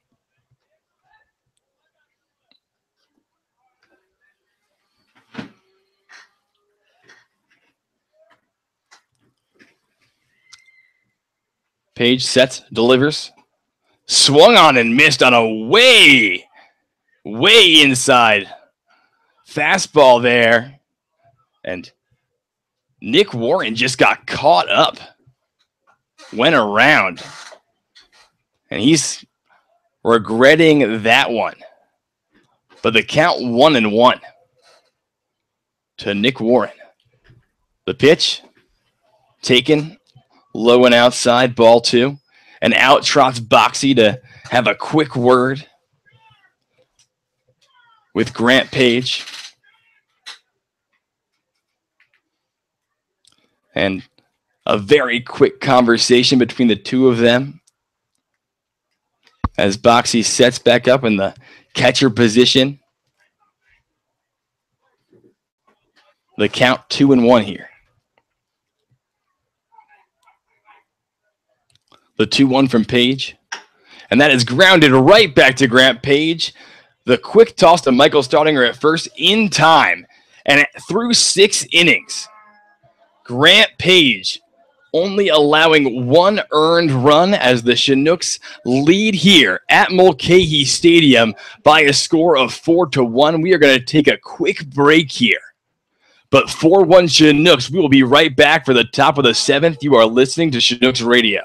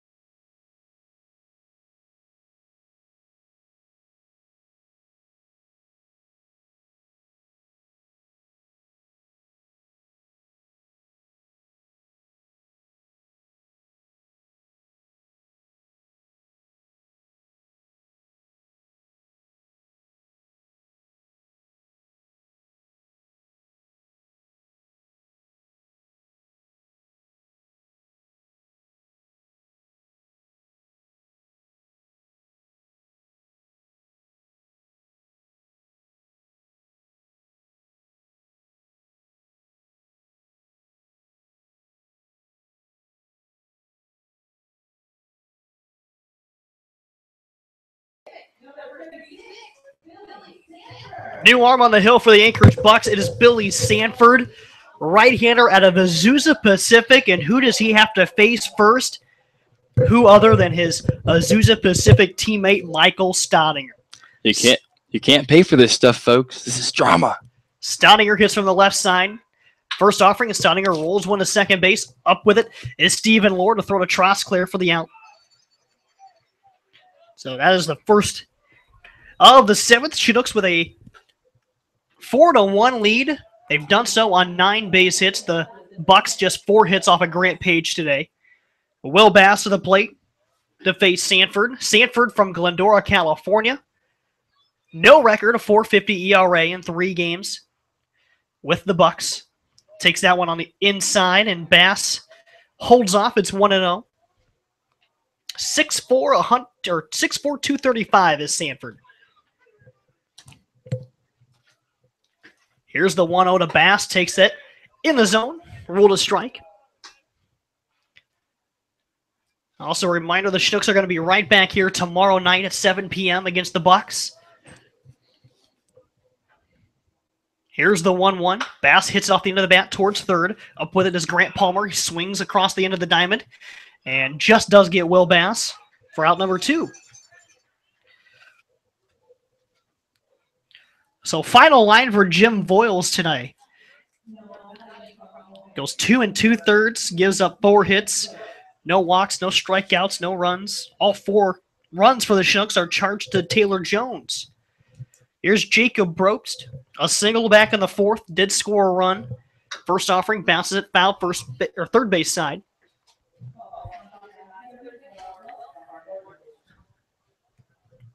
But after this series with the Bucs, the Chinooks will see nothing but the pilots and the miners throughout the rest of the month of June.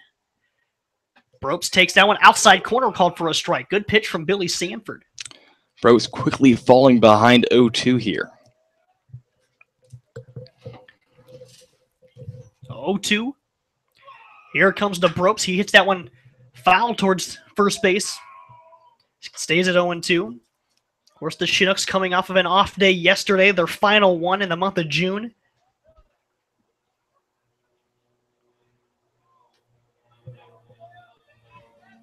Eleven straight days of baseball for the Fish.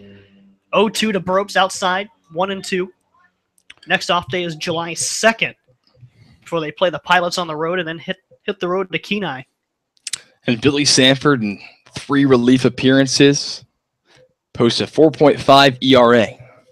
Inside the Brobst, two and two. Four innings pitched, two earned, five walks, two strikeouts, three hits allowed.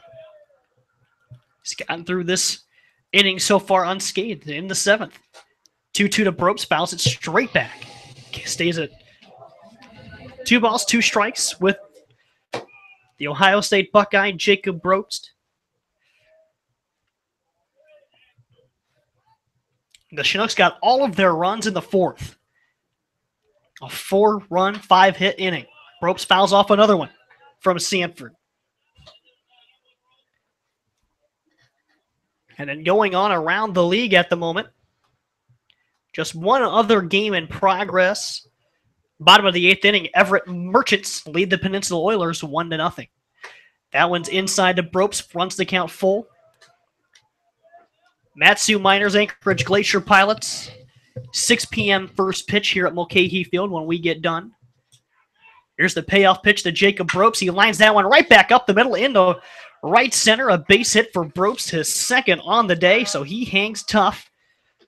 And Billy Sanford allows his first hit of the afternoon.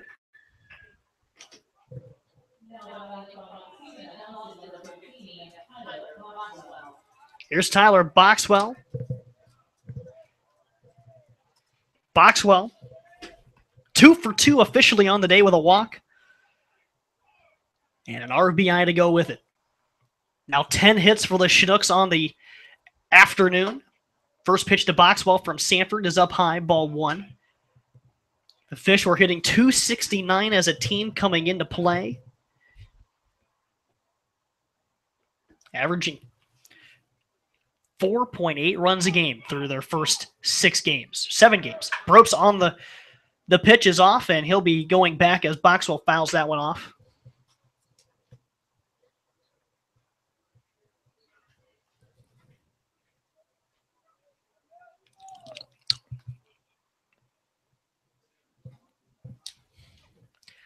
Billy Sanford on the hill for the Bucs, his first inning of work. Teammate of Michael Staudinger, Michael Fairchild of the Chinooks, and Boxwell rips one down the right field line, but it'll go foul. About the same distance as his RBI double, but you know, about five feet off the foul line. But Boxy's RBI really couldn't have dropped it in any more perfect spot there, right on the foul line in the corner. Sanford coming set the one two to Boxwell downstairs two and two. Sanford pretty good year at Azusa Pacific this last year. He was one and one, a 307 ERA, working just 14 innings. Here's the 2 2, and he Boxwell over the head of the first baseman Trosclair and just is foul. That's close. From our vantage point, it looked like the like it was on the line. Yeah, it looked like it clipped it. Just because of the angle from us. Woo. Not a good reason that we're calling fair and foul because Boxy could have been on his way to a second double of the ball game. Yeah, that would have had they let the play continue, rolled deep into foul territory there in right field. Boxy would have had a double. Two, two count, two gone. Sanford, the pitch to Boxwell, line it towards second base. Stephen Lohr on his knees has it, throws to Trosclair for the out. And the Bucs wiggle out of this one. Stretch time at Mulcahy Field, 4 to 1. Chinooks on top of the Anchorage Bucs. And at this time, I'd like to give a little Father's Day shout out to my dad, Michael Alex, of currently in Glen Ridge, New Jersey. Mike Alex introduced me to the game of baseball at a young age, and you, you got me to like it too much because now I can't spend Father's Day with you because I'm out in Alaska doing play by play. But happy Father's Day to my father. Happy Father's Day to all the fathers out there listening. I'm sure every single one of the Chinooks would give you the same shout out if they were up here in the booth with us, but they have nine more outs to make here before they can make their phone calls and so on and so forth. But new pitcher on the hill for the Chinooks is Travis Stone. So Grant Page officially six innings of four hit baseball, giving up the one run, walking just one batter, didn't strike anybody out, had the ball in play for all 18 outs. He retired. So for Travis Stone, he'll sling it from the right side in the submarine style right hander. Fastball, changeup, slider. He'll be pitching to Tyler Boxwell, so they stick SFA, Lumberjacks on the hill and behind the plate for the day. So leading things off in the bottom of inning number seven is going to be Grant Palmer. And Grant Palmer, one of those guys that changed a game in an instant last year. He would love to do the same here. 337 with the Bucs last summer. Takes the first pitch from Travis Stone outside for ball one. Travis Stone, 5'11, 192 at a Stephen F. Austin. He'll attend Weatherford College a year from now. Misses down and in 2 0. Had 18 strikeouts over 15 innings with the Lumberjacks of Stephen F. Austin. The 2 0 high 3 and 0. And Stone, also another native of Texas from Carrollton. Of course, we had Meet the Chinooks night on Friday. Here's the 3 0 from Stone. There's the in the zone. Makes it 3 and 1. Stone, like just about every single native of Texas on this roster and coaching staff, if asked if they could live anywhere in the world, they all said Texas. That's ball four to Grant Palmer, so he's aboard to lead off the bottom of the seventh for the, the Buckos. In fact, Jordan Vieira, when commenting about Texas, said God's Republic. Hard not to not to think so if you're from that state. Stephen Lohr of the plate. A single is last time up. Also flew out to left. First offering from Travis Stone. He waves and misses at that one for strike one. Stephen Lohr at a Cal Baptist. The Lancers playing in the same conference at the Division two level as Azusa Pacific and Point Loma Nazarene where former Chinooks catcher AJ Durr attends. There is a strike. 0-2 already on Stephen Lohr. Just some familiarity with that. Jeremy McDonald uh, of the Bucs also at Cal Baptist. Travis Stone comes set. He slings at the 0-2 home. Outside. Makes it a ball and two strikes. Nobody out for the Bucs. Hitting here into the bottom of the seventh inning. And another lights out start for Chinooks pitching. That's outside, two and two.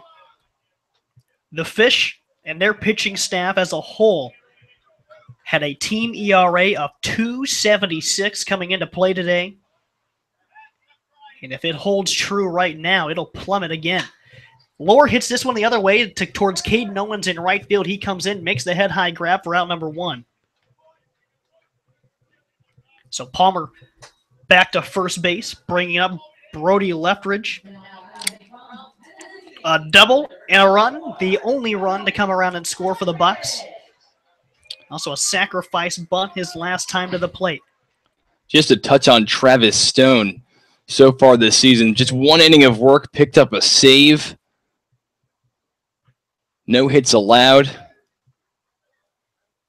First offering to Leftwich, he squares the bunt, pulls back, and takes a strike. Stone has been effective in league play, out of the pen for the fish.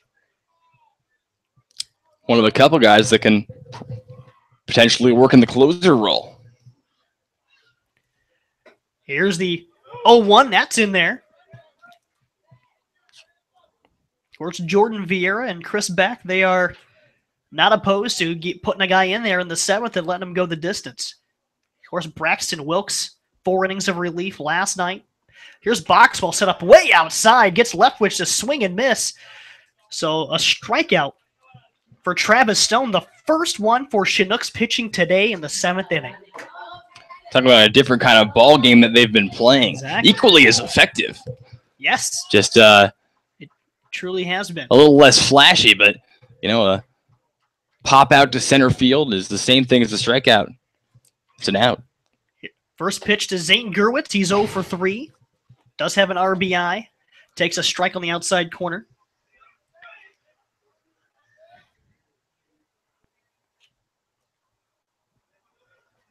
Stone working third base side of the rubber. Comes set.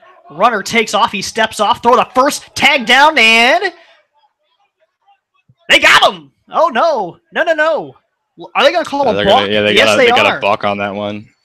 Stone turned to the inside of second base, and they're going to get him on a balk. Tough call there. They might have had him, but Yeah, if, they don't call the balk there, he's probably out at first, but it don't matter. So Gurwitz with another RBI opportunity with a runner in scoring position, two gone for the Bucs. Bottom of the inning number seven, and he bounces that one to the third base side. 0 and 2 the count will go. The Bucs are running the third. And the Chinook answer back in the fourth with four runs. They did that on five base hits. Here's the 0 2 from Stone outside. Good location. Trying to get him to chase. Gurwitz. A Texas Longhorn.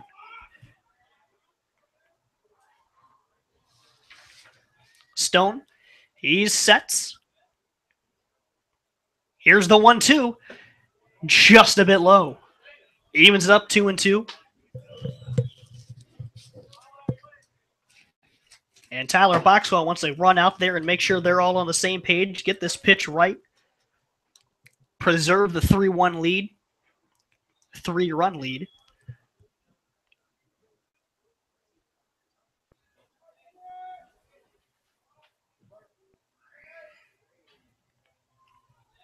Gurwitz will dig back in. Stone will set. Here's the 2 2. Outside, full count. pretty decent crowd they're showing here on Father's Day. So I'm sure double header here at Mulcahy Field. The Bucs and the Bucs and the Schnooks here in game one. Miners and Pilots will go at game two. Bouncer right back to the mound. Stone has it. Underhand flip to Michael Staudinger at first, retires the side. And we will go to the eighth. The Chinooks with a four to one lead after seven innings of play. And Andrew, outside of the two innings with runs in them, we have just flown through this ball game just two hours in and two innings to play. Yeah, Garrett, it's definitely, you know, a bunch of just Bucs guys going after the first pitch, flying out to center. That was the game for Grant Page. But what the start for Grant Page kind of solidifies for the Chinooks because Grant Page was the only starter to really have a shaky outing so far this season. It was the opening game of the series against the Goldpanners, the game that the Chinooks went on to win uh, in a high scoring affair. But Grant Page, one earned run through six innings, kind of proves that every guy on this Chinook staff has the potential to just kind of dominate you on any given day. Now they're going to do it in different ways. Now, you know, for Michael Fairchild, it's it's a power thing. For Lucas Hamelink, it's all about control.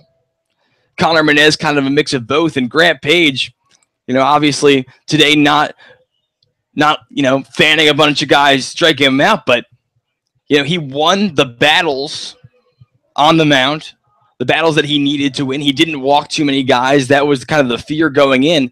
So now you got four solid starters, and the Chinooks team looking real good. And with four base hits for the for the Anchorage Bucs, all single hits for all four of those guys. The Chinooks have four guys with multiple hit days. Billy Sanford winds things up and he fires his first offering to Hunter Hanks for a ball. Hanks with an RBI single back in the fourth. Here's the 102. I mean, he lines that ball towards left field. Leftwich coming in, and it's not going to get not going to get to it. It drops in for a single. So Hunter Hanks, all of a sudden, his second hit of the day. He is now three for his last seven. Starting to get into a groove here in the Alaska Baseball League. Patrick Cromwell will now hit for the fish. And back to Hunter Hanks. When he was struggling, you and me were both saying it's just a matter of time for him to get out of the slump, find that swing, and he's been extremely effective so far today. Hanks away from first. Cromwell butts first base side. The pitcher, Sanford, between first base and the mound picks it up and tosses it along the cro- Trosclair. So sacrifice complete. For Cromwell, as now a runner at second base for Cameron Baranek. Baranek 0 for 3 with a walk this afternoon. Hitting from the left side, he'll stand out and quickly Nick Warren wants to head out to see his pitcher, Billy Sanford, make sure they're on the same page.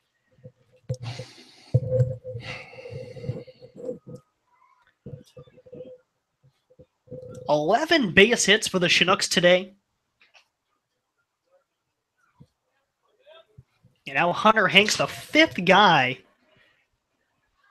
with multiple hits. First offering to Baranek upstairs, outside.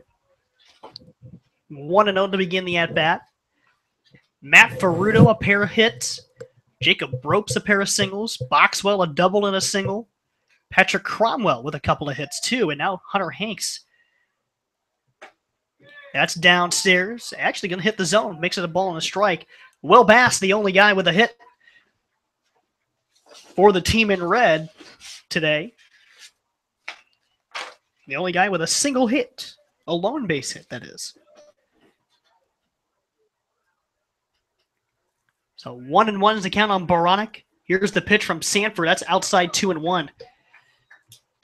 Billy Sanford came in in relief of Jim Voiles and Taylor Jones to begin the seventh inning. Got his Azusa Pacific teammate Michael Staudinger to ground out to second. And Baranek lifts this ball foul left side of things. Over there giving it a look is Grant Palmer, but he watches it get out into the stands behind the the Bucs clubhouse along the third base side. Makes the count two and two on Baranek. Baranek, Caden Owens, and Michael Staudinger are the only guys hitless for the Chinooks this afternoon. Sanford checking Hanks at second. Now to the plate. In the dirt, blocked by Warren on his way to third is Hanks, and he's going to be in there on the wild pitch. Not much of a wild pitch, but if it's in the dirt, got away. Give him the base. So a full count now on Cameron Baranek and a nice insurance run seated at third base. Bucs infield is going to be drawn in on the in, cut of the infield grass, or what would be grass, despite the all turf surface here at Mulcahy Field. Very important to drive in this guy here. The 3 2 fouled off of the plate. Baranek stays alive. Talk about getting like the most minimal piece of it that you can get, but Cameron Baranek getting a touch of it, staying alive. You know, anything to the uh, hit it deep into the outfield, and Hunter Hanks is in to score. or anything that would Yeah, any any base hit, make an infielder make a play. Anything up the middle past the pitcher should score Hunter Hanks.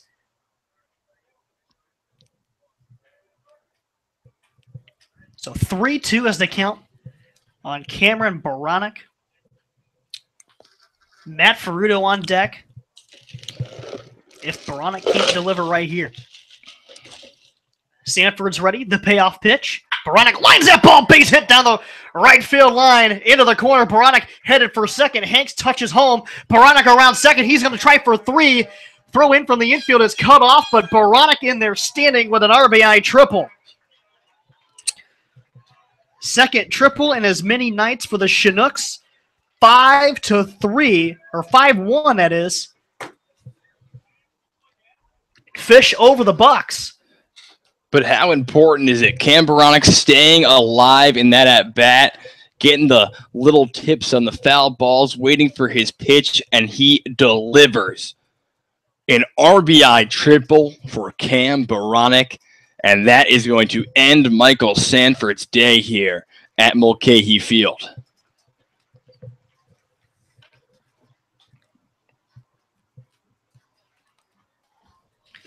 We'll take a quick break, get your new pitcher on the mound, and uh, complete the eighth inning here. Five to one Chinooks, one gone top of the eighth. We'll be right back on Chinooks Radio.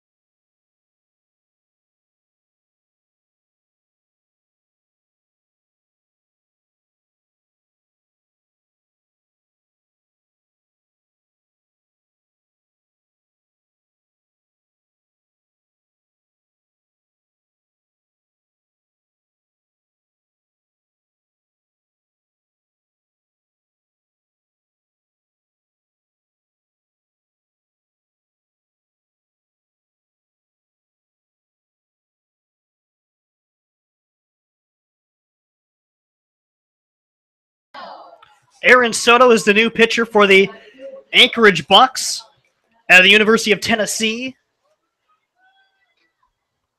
On the summer, 2 0. An 069 ERA as well. Over 13 innings. His first batter will be Matt Ferrudo. First offering, Ferrudo bloops one. Right field, that's going to get down. Around third, Baranek will score. And six to one, Chinooks on top of the Big City Bucs. Second RBI of the day for Matt Ferrudo. It's an impressive day for the Chinooks at the plate. And they continue to get these key insurance runs.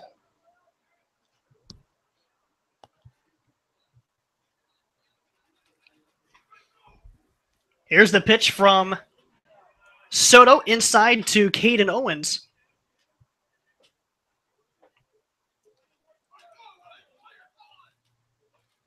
Soto, left-handed pitcher at a Tennessee, fires home. That's upstairs, 2 0.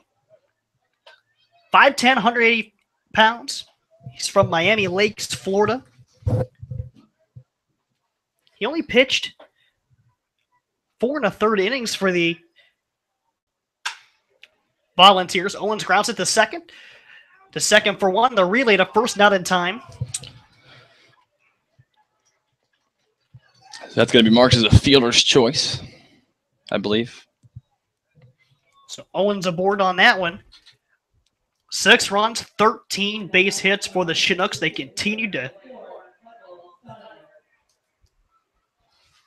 hit red hot. Two more here coming home in the eighth. Staudinger, lefty lefty matchup. Owens off on the pitch, balls in the dirt, and Owens is going to be there on indifference.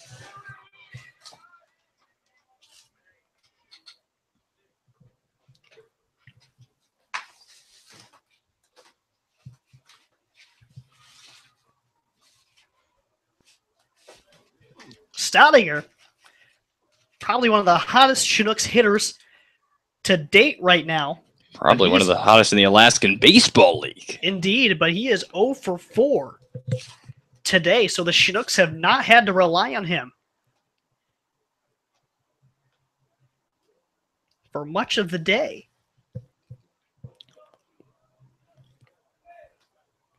The big bat for the Fish have been Matt Ferrudo and Tyler Boxwell. Caden Owens dancing away from second. The pitch from Soto in the dirt all the way to the backstop. Owens is going to get the third on the pass ball. That was right through the legs of Warren. So now the Chinooks with a runner on third yet again. In this top of the eighth inning. The eighth inning was a big inning for the Chinooks on Friday when they got the insurance runs to solidify their win. Staudinger hits it in the air to center. Medium deep. Over there is Zane Gurwitz, and he's under for the out. 0 for 5 goes the beat for Michael Staudinger, but the Chinooks grab a couple more runs at the top of the eighth inning, leading it six to one. Middle of the eighth we go. Andrew, will it ever stop? well, I certainly hope not, Garrett. You know, and every single day this ball club has come out since last Sunday, so this entire week, it started here. And every single game has kind of showed you something new about this team. When one aspect struggles, another part has kind of just been picking it up. Like in, the game, uh, the series opener against the Goldpanners, when when Grant Page struggled a little bit, allowing four runs in uh, just four four innings or four and a third, whatever it was. You know, the bullpen Braxton Wilkes, CJ Lewington came in, you know. And then in games when, you know, the pitching also in games where the pitching has struggled, the bat ha- the bats have really lit it up.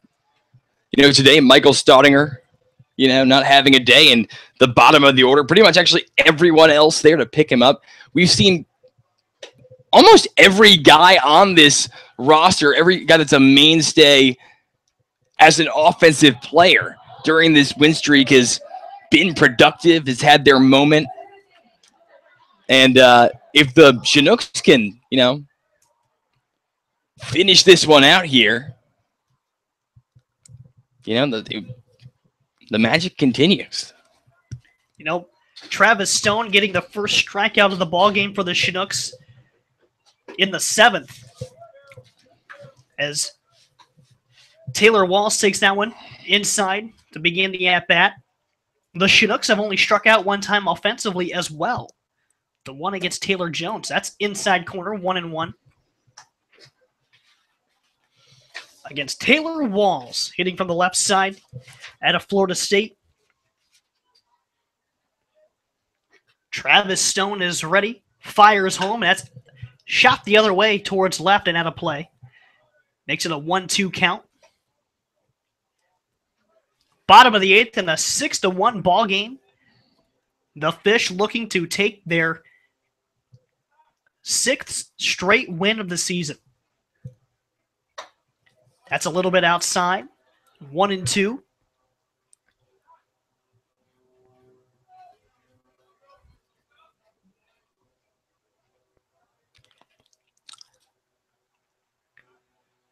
Stone is ready. The 2 2 pitch swung on, banged right up the middle. Coming into Will Bass as the ball's not moving quickly. So Bass gloves and throws out Taylor Walls at first base for the out. That gives us a moment in the action to recognize our host family of the night. We're doing it a little later today as we recognize the Sims family of Eagle River, housing Shane Armstrong and Lucas Hamelink. John, the father of that household, a Hillsdale college graduate as he has the pair of Hillsdale Chargers for the summer. We wish a happy Father's Day to John as well. First offering due, Stephen Trosclair is in there for a strike. One gone for the the Bucs in the bottom of the eighth, trailing six to one here on their home turf. Stone fires home. Trosclair gets one between Patrick Cromwell in the bag at third, and it'll go down the line, and he'll have an easy double for his second hit of the night. Stephen Trosclair, single and double, one out, down by five. But here is the the pitcher, Aaron Soto, having to hit Oh. in the pitcher spot. No designated hitter for the the Bucs today, as Taylor Jones got the start. He also plays the field, a tremendous hitter. There's all West Coast Conference as a hitter, but here's Aaron Soto having to hit for himself. Takes the first pitch strike. He does have an at bat on the year. I'm curious to see what the status of Taylor Jones' injury is.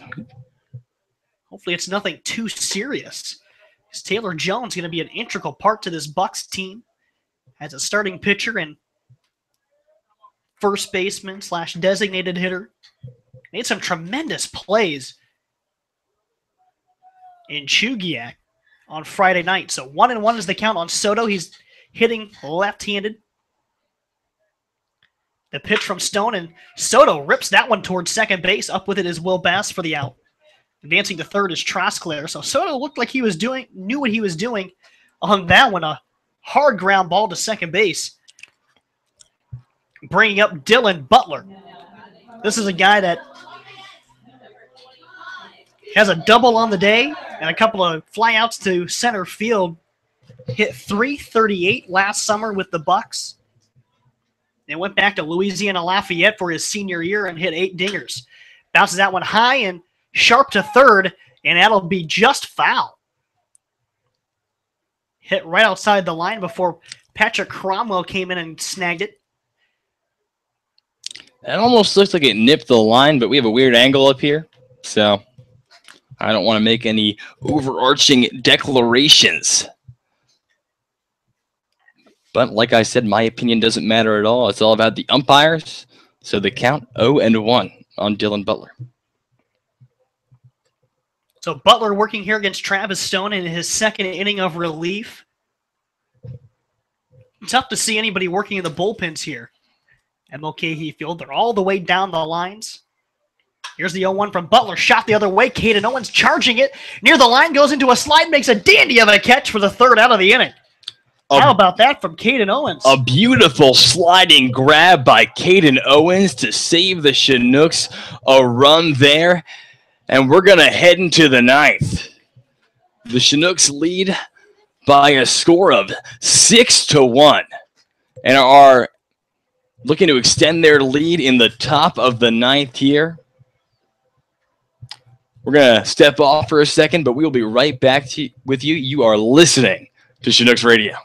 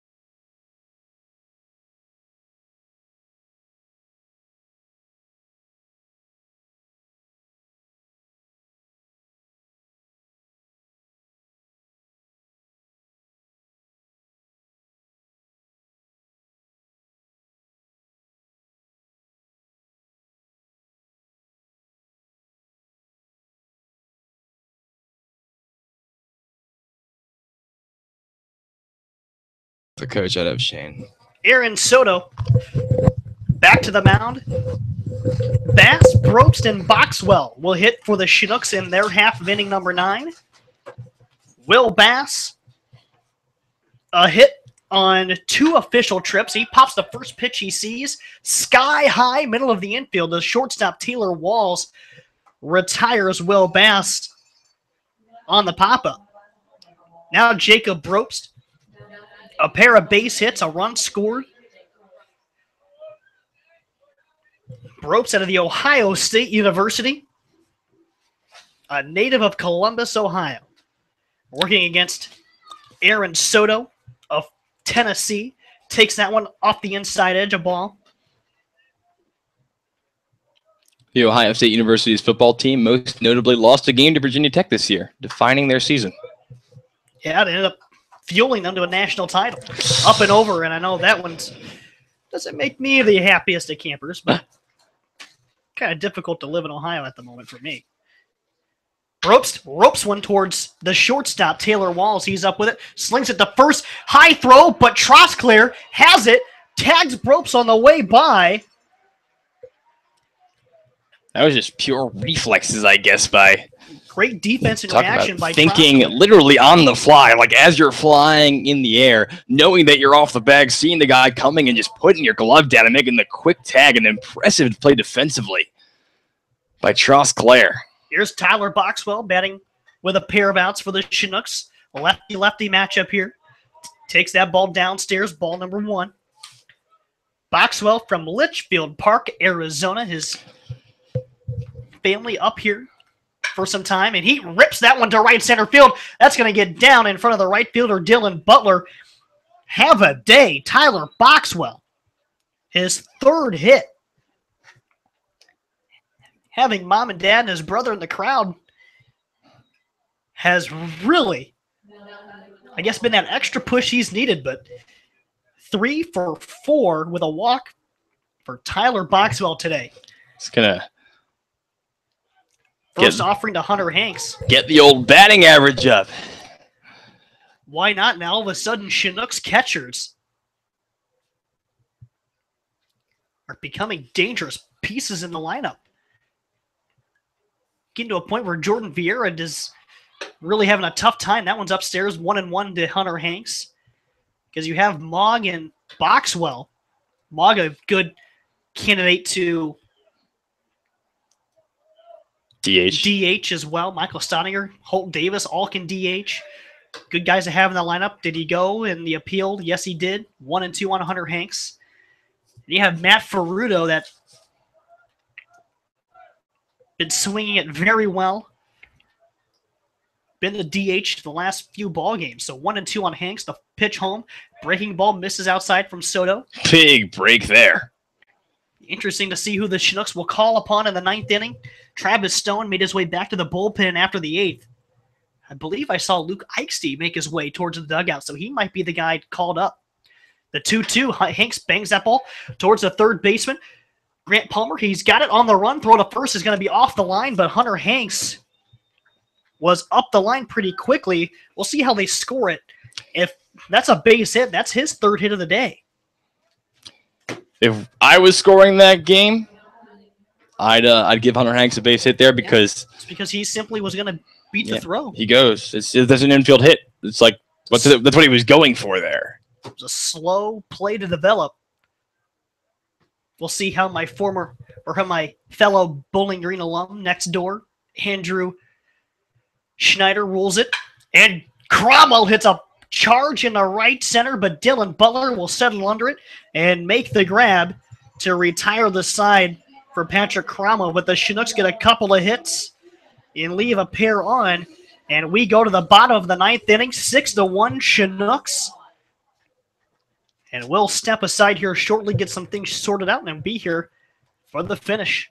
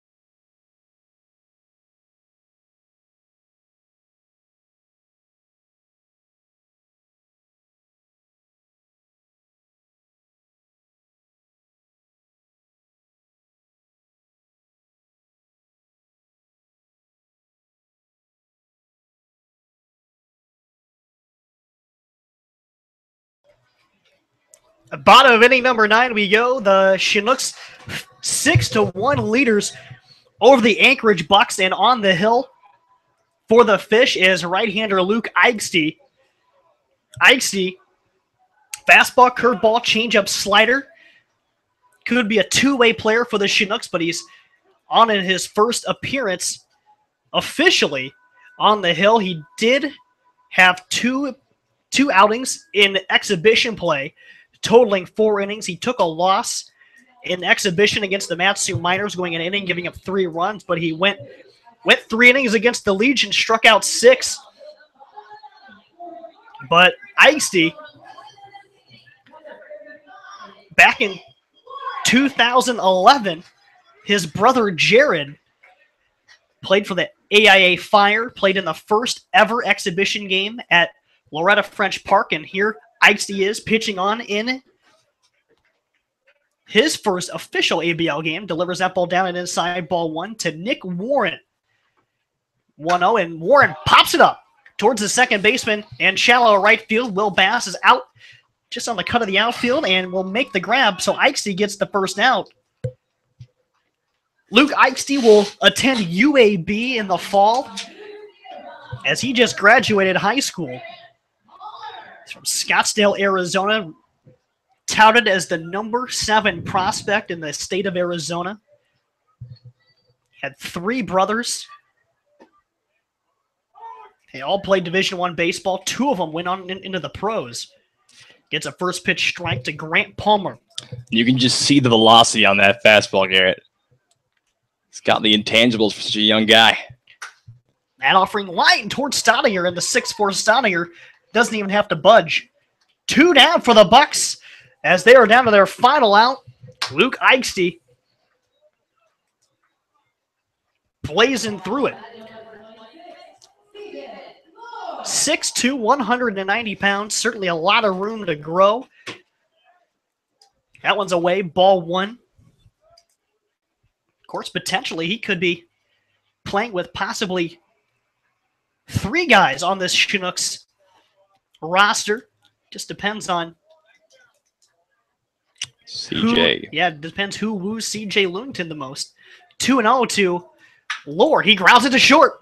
Hunter Hanks charge it. He gloves it double pumps and throws on to first and gets the out. The Chinooks have won the ball game as they take it with a final score of six to one over the Anchorage Bucs. Six straight wins for the Fish as they move to six and two on the regular season. Just locked down pitching all night long. They only strike out one, which is a rarity for the this pitching staff.